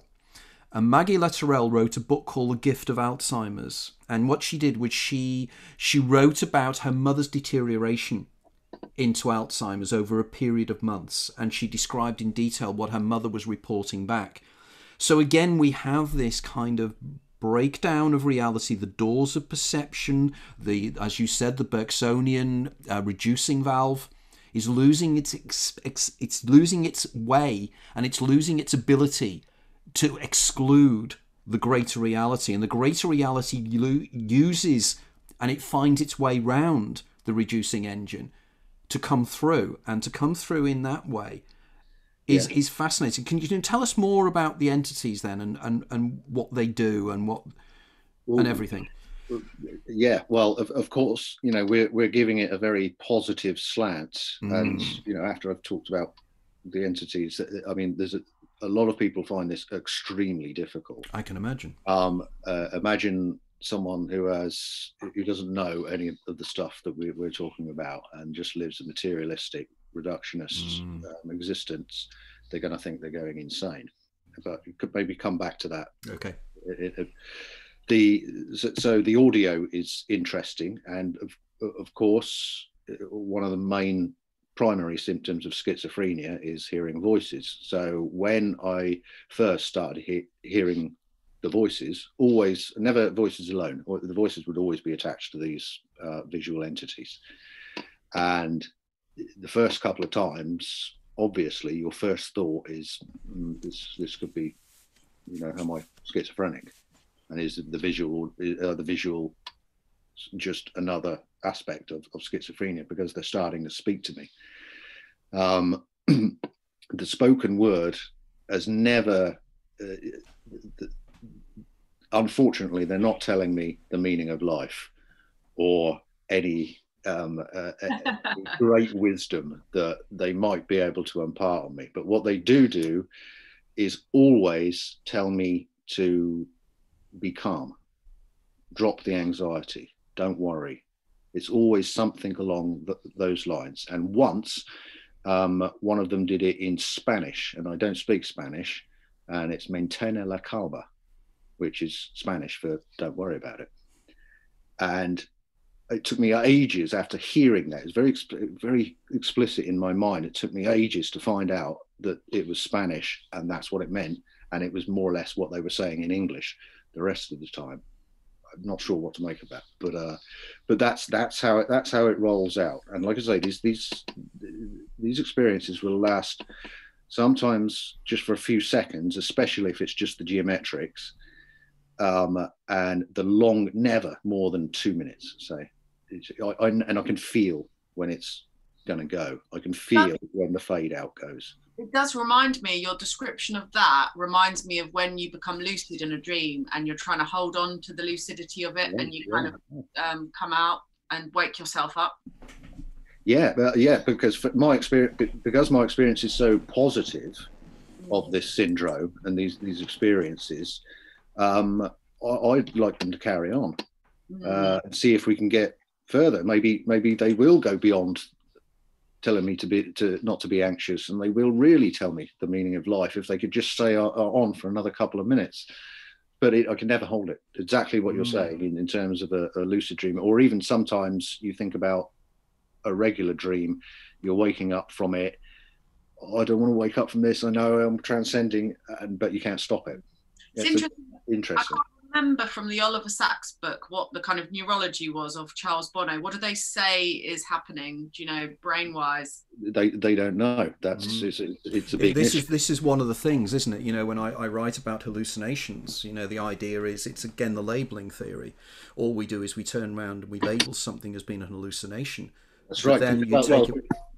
Can, just to just to strengthen what you're saying there, can I just read out the standard NHS description okay. Charles Bonnet syndrome. It's that uh, this is on their website. This is what they tell you. It is. Uh, how, how do I say? It is a condition, sometimes termed visual release hallucinations, experienced by people who are losing or have lost their sight. It involves seeing things which are not really there.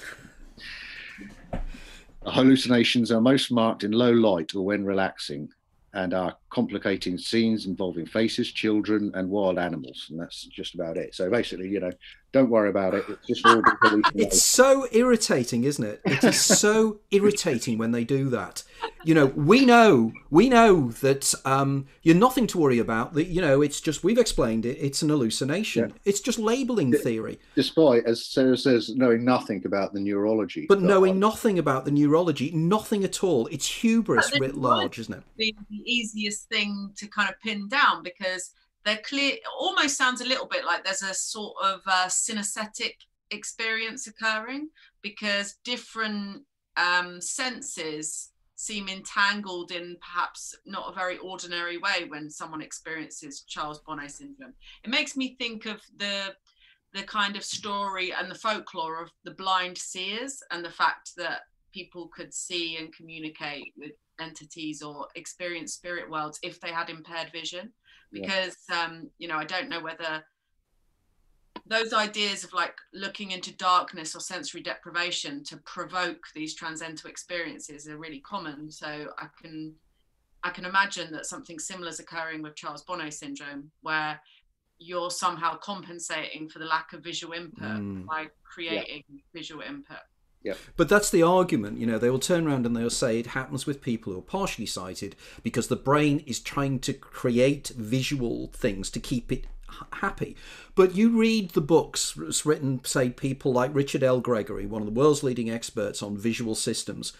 We don't understand how visual systems work. We don't understand how the uh, the inner model from from the retina is then processed into an ex- internal image which is this three-dimensional world that surrounds us. It's a magic act. It it you know that the pretense that we know how the visual the visual systems work. No we don't. We don't know how vision works at all. We don't know you know for instance the argument about we don't see the blind spot because the brain creates something to fill in the blind spot so, you know, we, we need to realize the limits of our own understanding before we start saying that we understand these things. Because I would again imagine, Neil, you know, your experiences, you know these things because you're experiencing them. And for some smart ass doctor to come along or some expert in raised commas and turn around and say, oh, it's just an hallucination. Nothing but, is just anything, is it? But from their from their reductionist viewpoint, they haven't got a choice, have they? Because no. if they admitted that it wasn't a hallucination, they would have to admit that there is some other form of reality with us. Mm. And that's not how a reductionist works, is it? The, you know, the, the, the term itself um, t- tells you that. So, so they've got to do that. And, mm. you know, perhaps being a bit unfair on the NHS, but, but uh, because they do go on to say on, the NHS side, they do go on to um, to, to tell people who have been experiencing this that they're not going insane. This is not a psychological issue. This is something to do with your visual loss, and it's it's more common than you might think it is. Well, isn't the central point always about Charles Bonnet syndrome is, as I understand it from my readings, is that it's differentiated because somebody who has Charles Bonnet syndrome is acutely aware of the fact that these things are hallucinations. They never ever think that they are kind of absolute reality. They know that it's an hallucination, and then they start to question, well, what exactly am I seeing here? Yeah. You know, you never confuse it for being something real because Charles Bonnet's, you know, Charles Lullin, who was Charles Bonnet's father or whatever, or uncle, I think it might have been, I can't remember, sure, quite sure. You know, Lullin himself you know, used to joke about it. He used to see women with these huge hats on, and they'd come into his room, and he'd joke about it.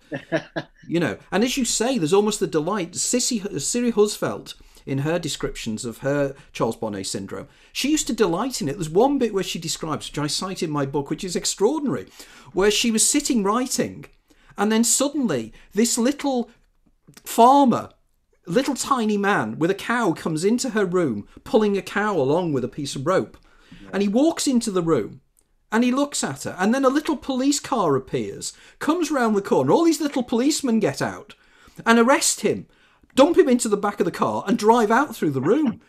And she's sitting there just watching this, and she's going, "This is extraordinary," and she loves it.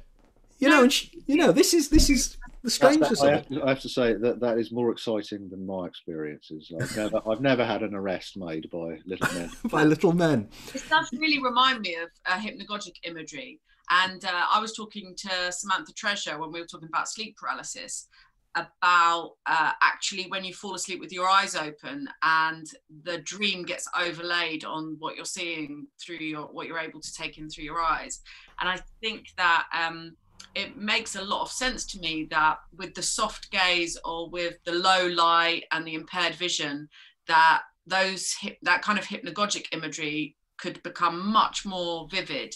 And i i always you know when i read about charles bonnet syndrome my first kind of knowledge of it was from that oliver sacks book hallucination.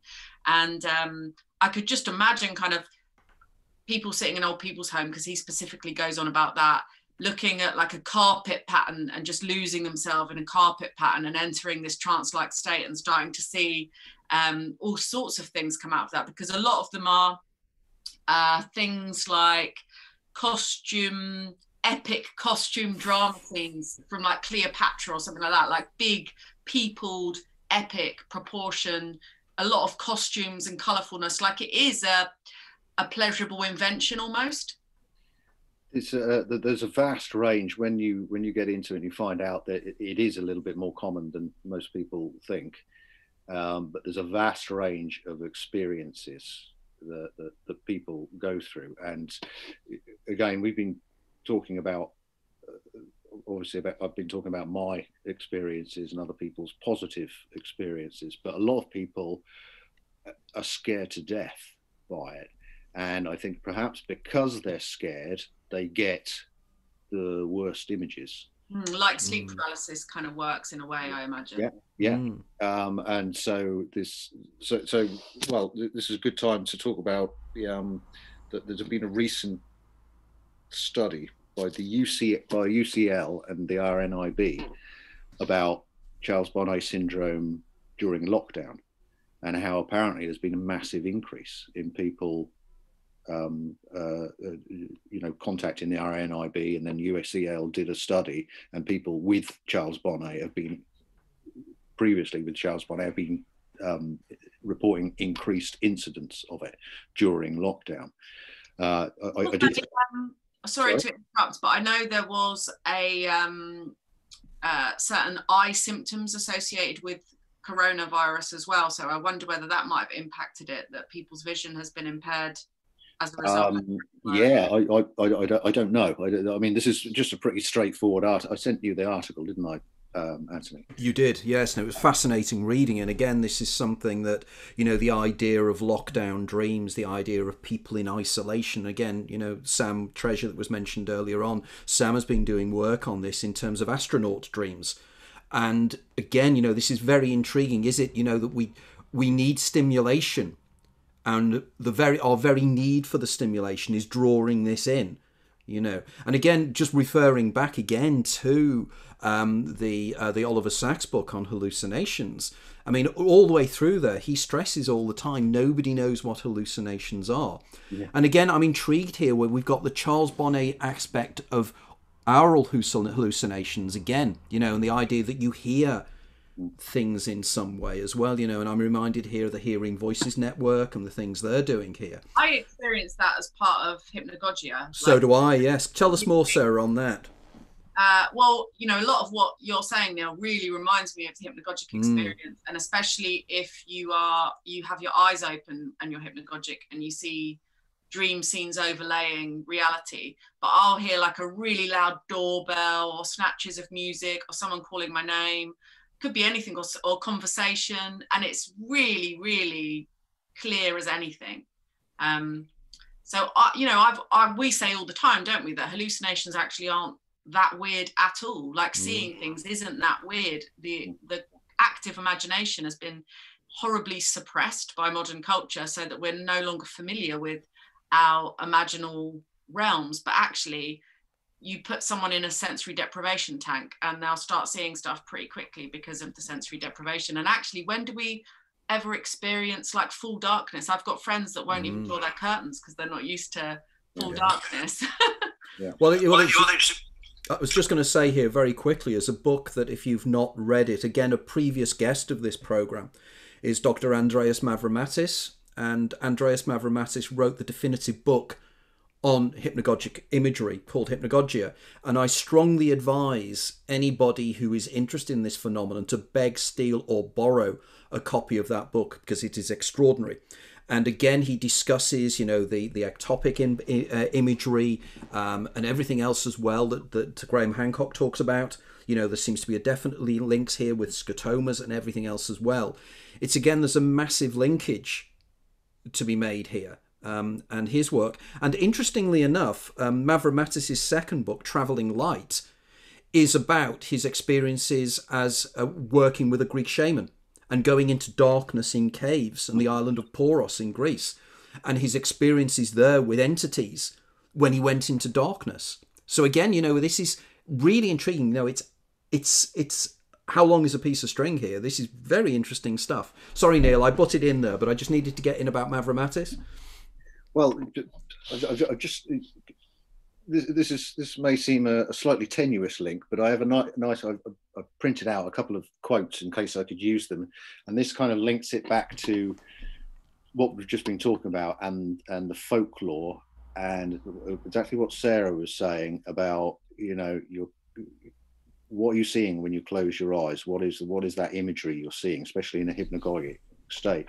And this is from um, the you, you, know about this, Anthony W. Y. Evans Wentz. Mm, yes, fairy fairy faith in Celtic countries. In I think it was published in 1911.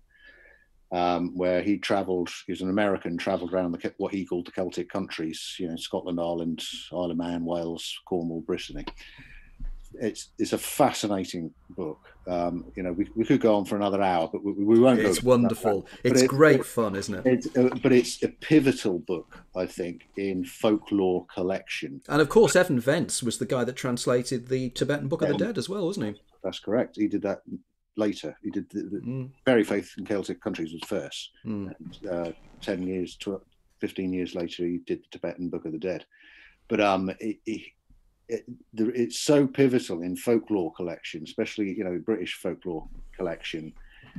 Before there'd been a tendency, not always, but to collect stories from a long time in the past, almost fairy tales, not not fairy tales, but folklore with allegorical folk folklore. So there might have been some reality to it, but actually, you know, re, really it's been built up over generations and there are tales to it. Evans Wentz wanted, he did collect stories from generations ago, but what he really wanted, he wanted to meet the people who were meeting the fairies and had contemporary stories about them. And that changed things. I think from then, in the early 20th century, that became the primary goal of folklore collection. They weren't after the fairy tales, they weren't after the allegory, they were after, um, uh, you know, anecdotal up to date um, folklore. And just just in you know in light of what we've been talking about, this is this is fascinating.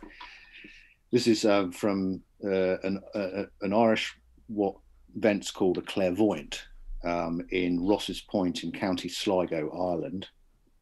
Um, and Wentz wanted to know what the mechanics were of interacting with, with, with the fairies. He, he, doesn't even talk about what he saw. He's just, you know, how how how do you see it? You call yourself a seer or a clairvoyant. How do you do it? And so, listen to this carefully. This quote from this guy, um, in terms of what we've just been talking about. I have always made a distinction between pictures seen in the memory of nature and visions of actual beings now existing in the inner world. We can make the same distinction in our world. I may close my eyes and see you as a vivid picture in my memory, or I may look at you with my physical eyes and see your actual image. In seeing these beings, the fairies, of which I speak, the physical eyes may be open or closed. Mystical beings in their own world and nature are never seen with the physical eyes. Isn't that good? Mm. Totally, and, and of course, one of the things that I'm intrigued about is the inner vision, you know, yes. and the idea of biophotons. And funnily enough, one of the, the major researchers in this area was Fritz Alec uh, Fritz Popp, P O P P, who was a researcher at the University of Liverpool.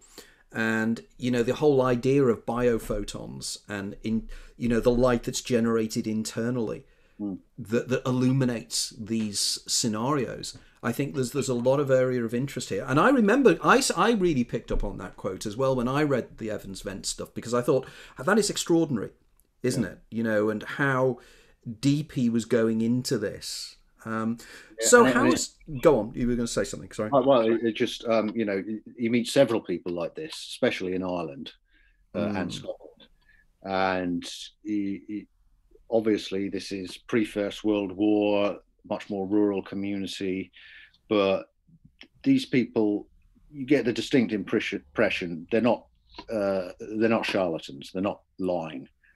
There's there's there's there's no chicanery going on. These people mm. have some form, whatever you want to call it, clairvoyance, second sight, and part of that is being able to interact at whatever level with entities such as, in this case, the fairies. And, I think um, do you think this has something to do with that kind of deep embedding within nature that we've lost? Because I think, you know, one of the things that I really take away from this is you talking about the nature spirits. And in ancient Greece and ancient Egypt, there's this worship of natural forces and this recognition of nature having a life and being divine, which yeah. we've lost contact with. And with those people living in rural communities, they still live and breathe by the rhythms and the cycles of nature. And so they're much more sensitive to the spirits and the energies of nature and they have a much deeper respect for it. And they they you know, I, I know myself when i've like lived in natural surroundings and being in constant contact with the sea or the elements you you recognize there's a language there in nature. And i think these people can understand that language. Yeah. What you were talking about in ireland reminded me of i think it's in russia um, I read an article about these women that can um, construct oracles out of listening to water sources, and they hear the murmur of water, and it speaks to them, and they're able to tell fortunes from reading and listening to this water.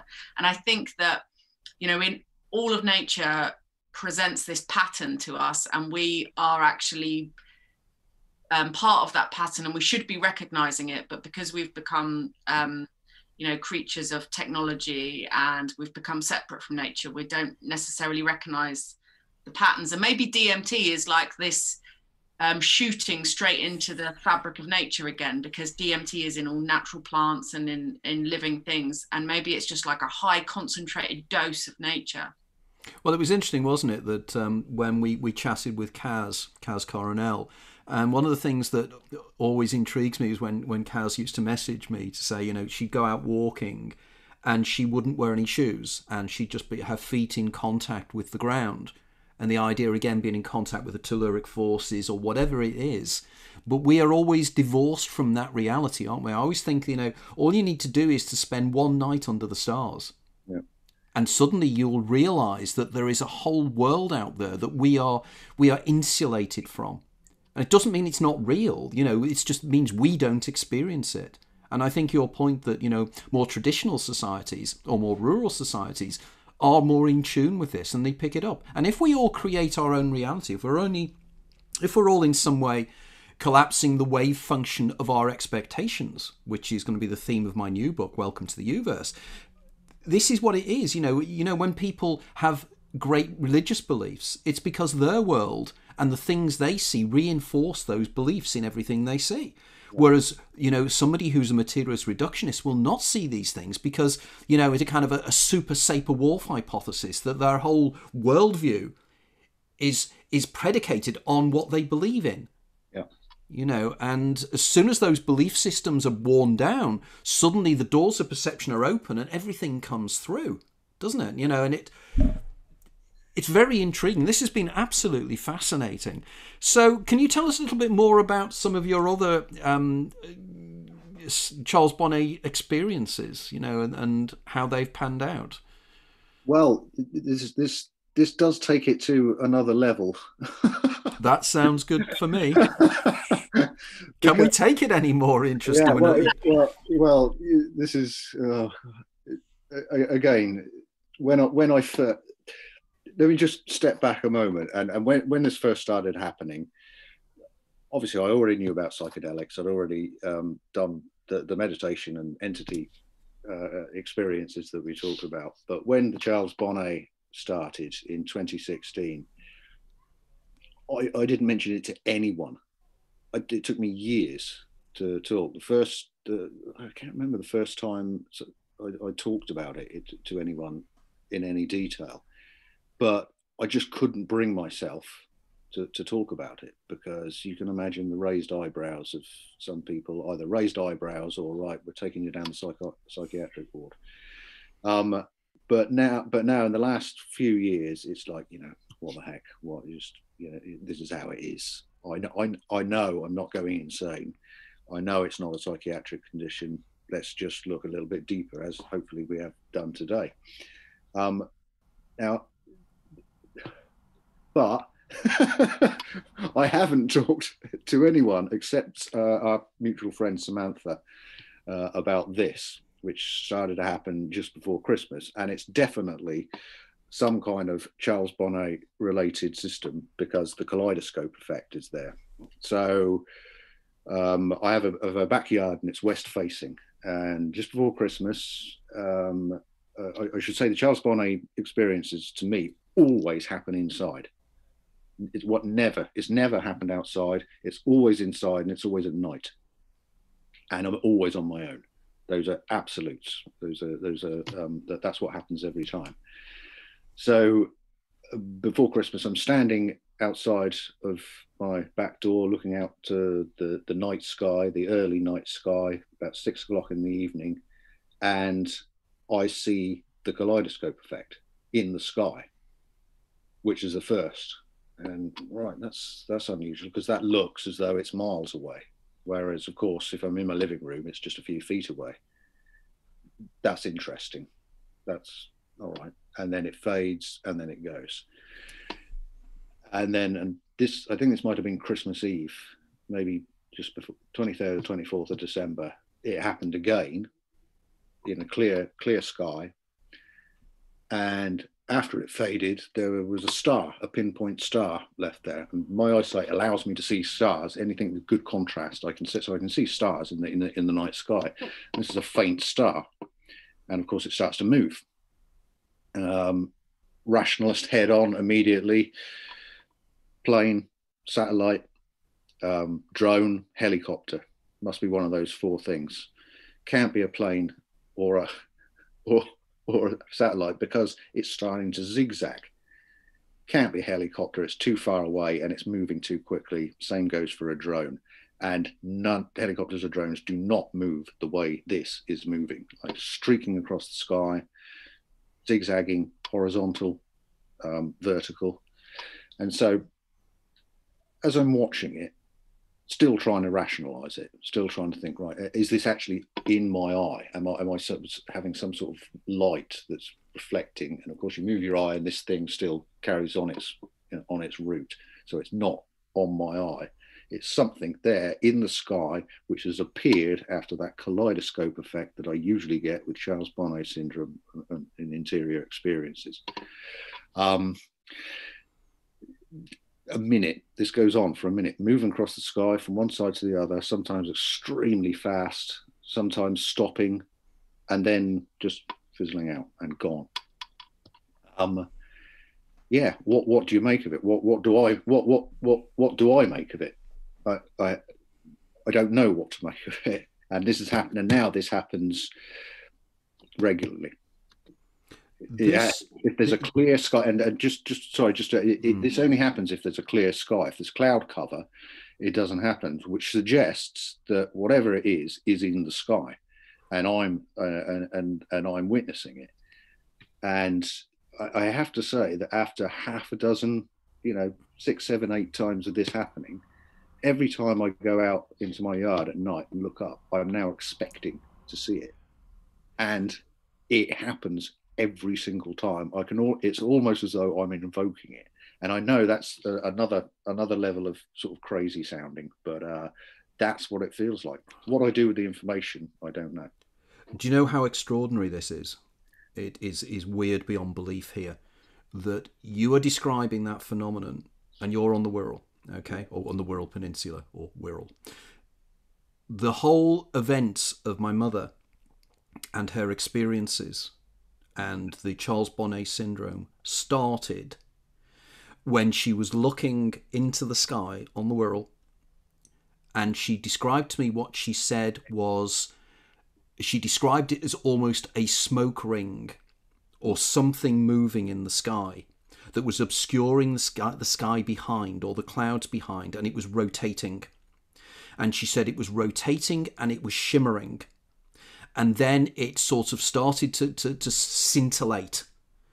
And then it, it, it, it then shot off towards North Wales. So she was looking towards where you live, looking towards Wallasey from hmm. Bromborough and Bebington she then said it shot off towards North Wales, towards the Dee side of the Wirral. Now, the intriguing thing about this is that, again, I thought this was something she was seeing in the sky that wasn't was was was part of her developing Charles Bonnet syndrome. And that night she had the the incident with the grey, which I've discussed many times, and won't go into detail about this. But what was fascinating about that that particular incident was that I was subsequently contacted by a mutual friend of mine, or a friend of mine. There's a mutual friend of mine, a friend of mine, Richard Fleming, and his she's a friend of his, a lady called Morrigan Howkins. And Morrigan was, and you'll know this if you know the Wirral, she was on the White Bridge, the A41, Newchester Road, and she was going across the White Bridge by Port Sunlight on the very evening that my mother saw this thing. And she said everybody on the bus saw it because they saw something over Price's factory or the old Price's factory, Bromborough Dock, and it shot over the bus going towards North Wales. And they all went, What on earth was that? Mm. So, what have we got here? We've got something that seems to project outwards. It's almost the kind of the Jungian idea of, you know, a modern myth of things seen in the sky. Yeah. So, it's a kind of projection of our minds, but it's also out there, isn't it? Well, it's. I, I, find, I, I still haven't quite come to terms. that's that's possible, but it's uh, I haven't come to terms with what this means. The mm. best I've come up with is that in in my writings, I make I, I, I sort of take the Graham Hancock line that fairies and aliens. There's a lot of similarities between mm. the two, and maybe whatever they are, they're giving me a message. what the, the, way it fit, the, the, the reason it feels like a message is that I know that I can go out and if it's a clear sky, I know now. I just know it's going to happen. And sure enough, it hasn't let me down once.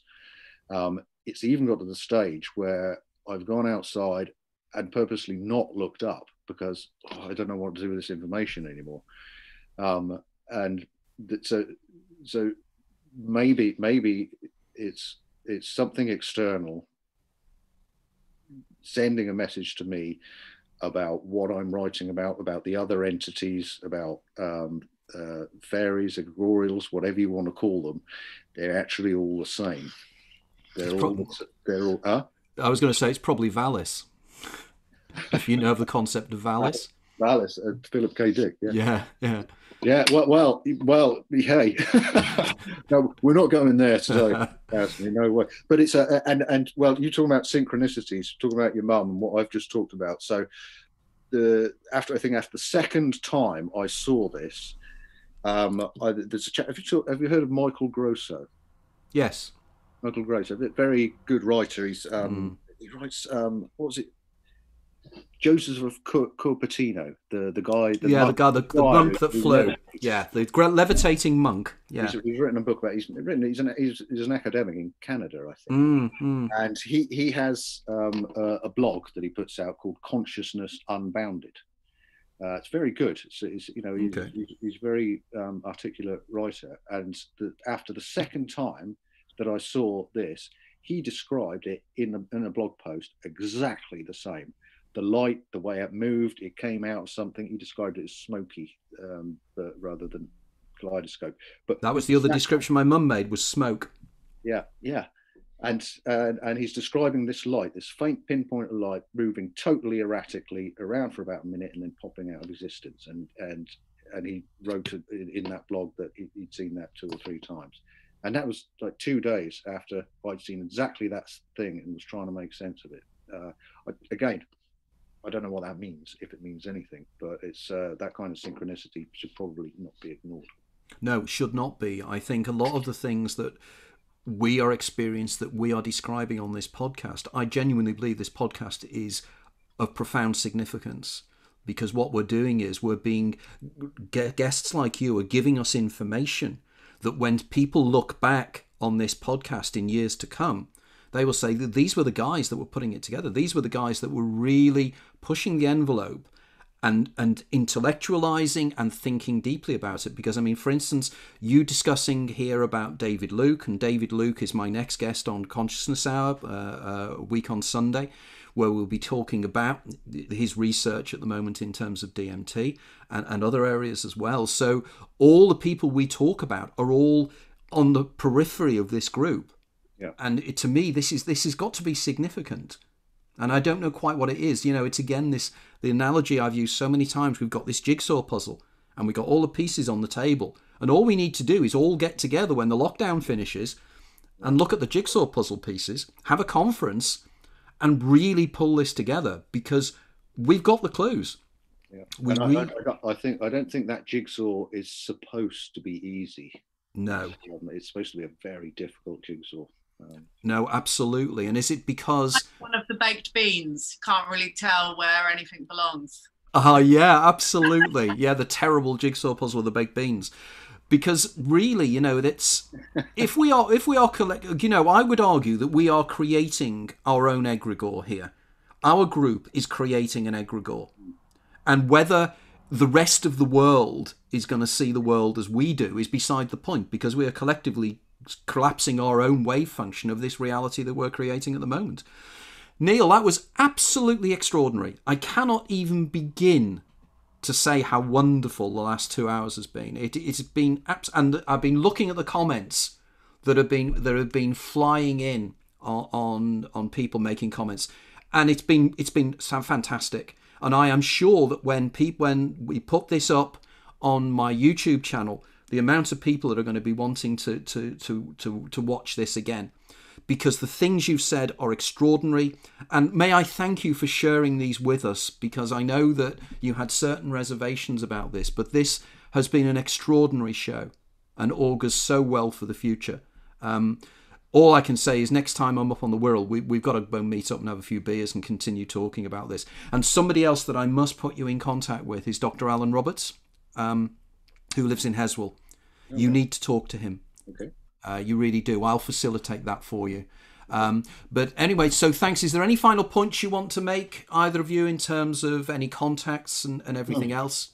Um, uh, well, we, we didn't talk about this at all, but I have published a novel this year. Yes, which I've. So, so yeah. Dead but Dreaming. Um, that's my second novel. It was published not this year. It was published last year in in, in July. Uh, it's doing pretty well, and uh, there's there's lots of fairies in it. There's lots of altered states of consciousness, and quite a bit of discussion about solipsism. So, covering uh, you know a, a, lot of what we've covered today are, are in. So, where can people get that book on Amazon and everything? The usual, the usual, yeah. Amazon, the, the evil empire of Amazon. You know, just have to. You know, get, go along with that. But it's uh, it's uh, yeah, so you can get so you can get that anywhere. And I'm still I find it quite difficult creative writing during lockdown. I've I've been off the boil for the last few months, but hopefully I'll be publishing a few more pieces on my blog site, which is Dead But Dreaming. Okay. WordPress.com. Um, so, and anyone who wants to contact me and find me there can can, can do so please do because you know your work is is extraordinary and incredibly important because it's experiential as well. And Sarah, final point: anybody wants to to contact you on your website and your little group as well? Yeah, I just wanted to say to Neil, like, I really loved that, and it's a lot of my similar interests. I think that the work that you're doing and your interests really important avenue to explore. And I I think that it's interesting you were saying when you started to have symptoms of Charles Bonnet syndrome that you didn't know what it was, and maybe someone watching this will be more mm. confident and happy to realize that this is something that a lot of people do experience. So that was great. Um, and my website is just themysteries.org. Wonderful. Okay, thank you very much for listening in and spending another two over two hours with us on this um, very spring-like um, afternoon on a Monday. Um, so thanks very much, folks, and we'll see you again next week. Um, looking forward to it. Okay, thanks, guys. We'll see you soon. Okay, bye.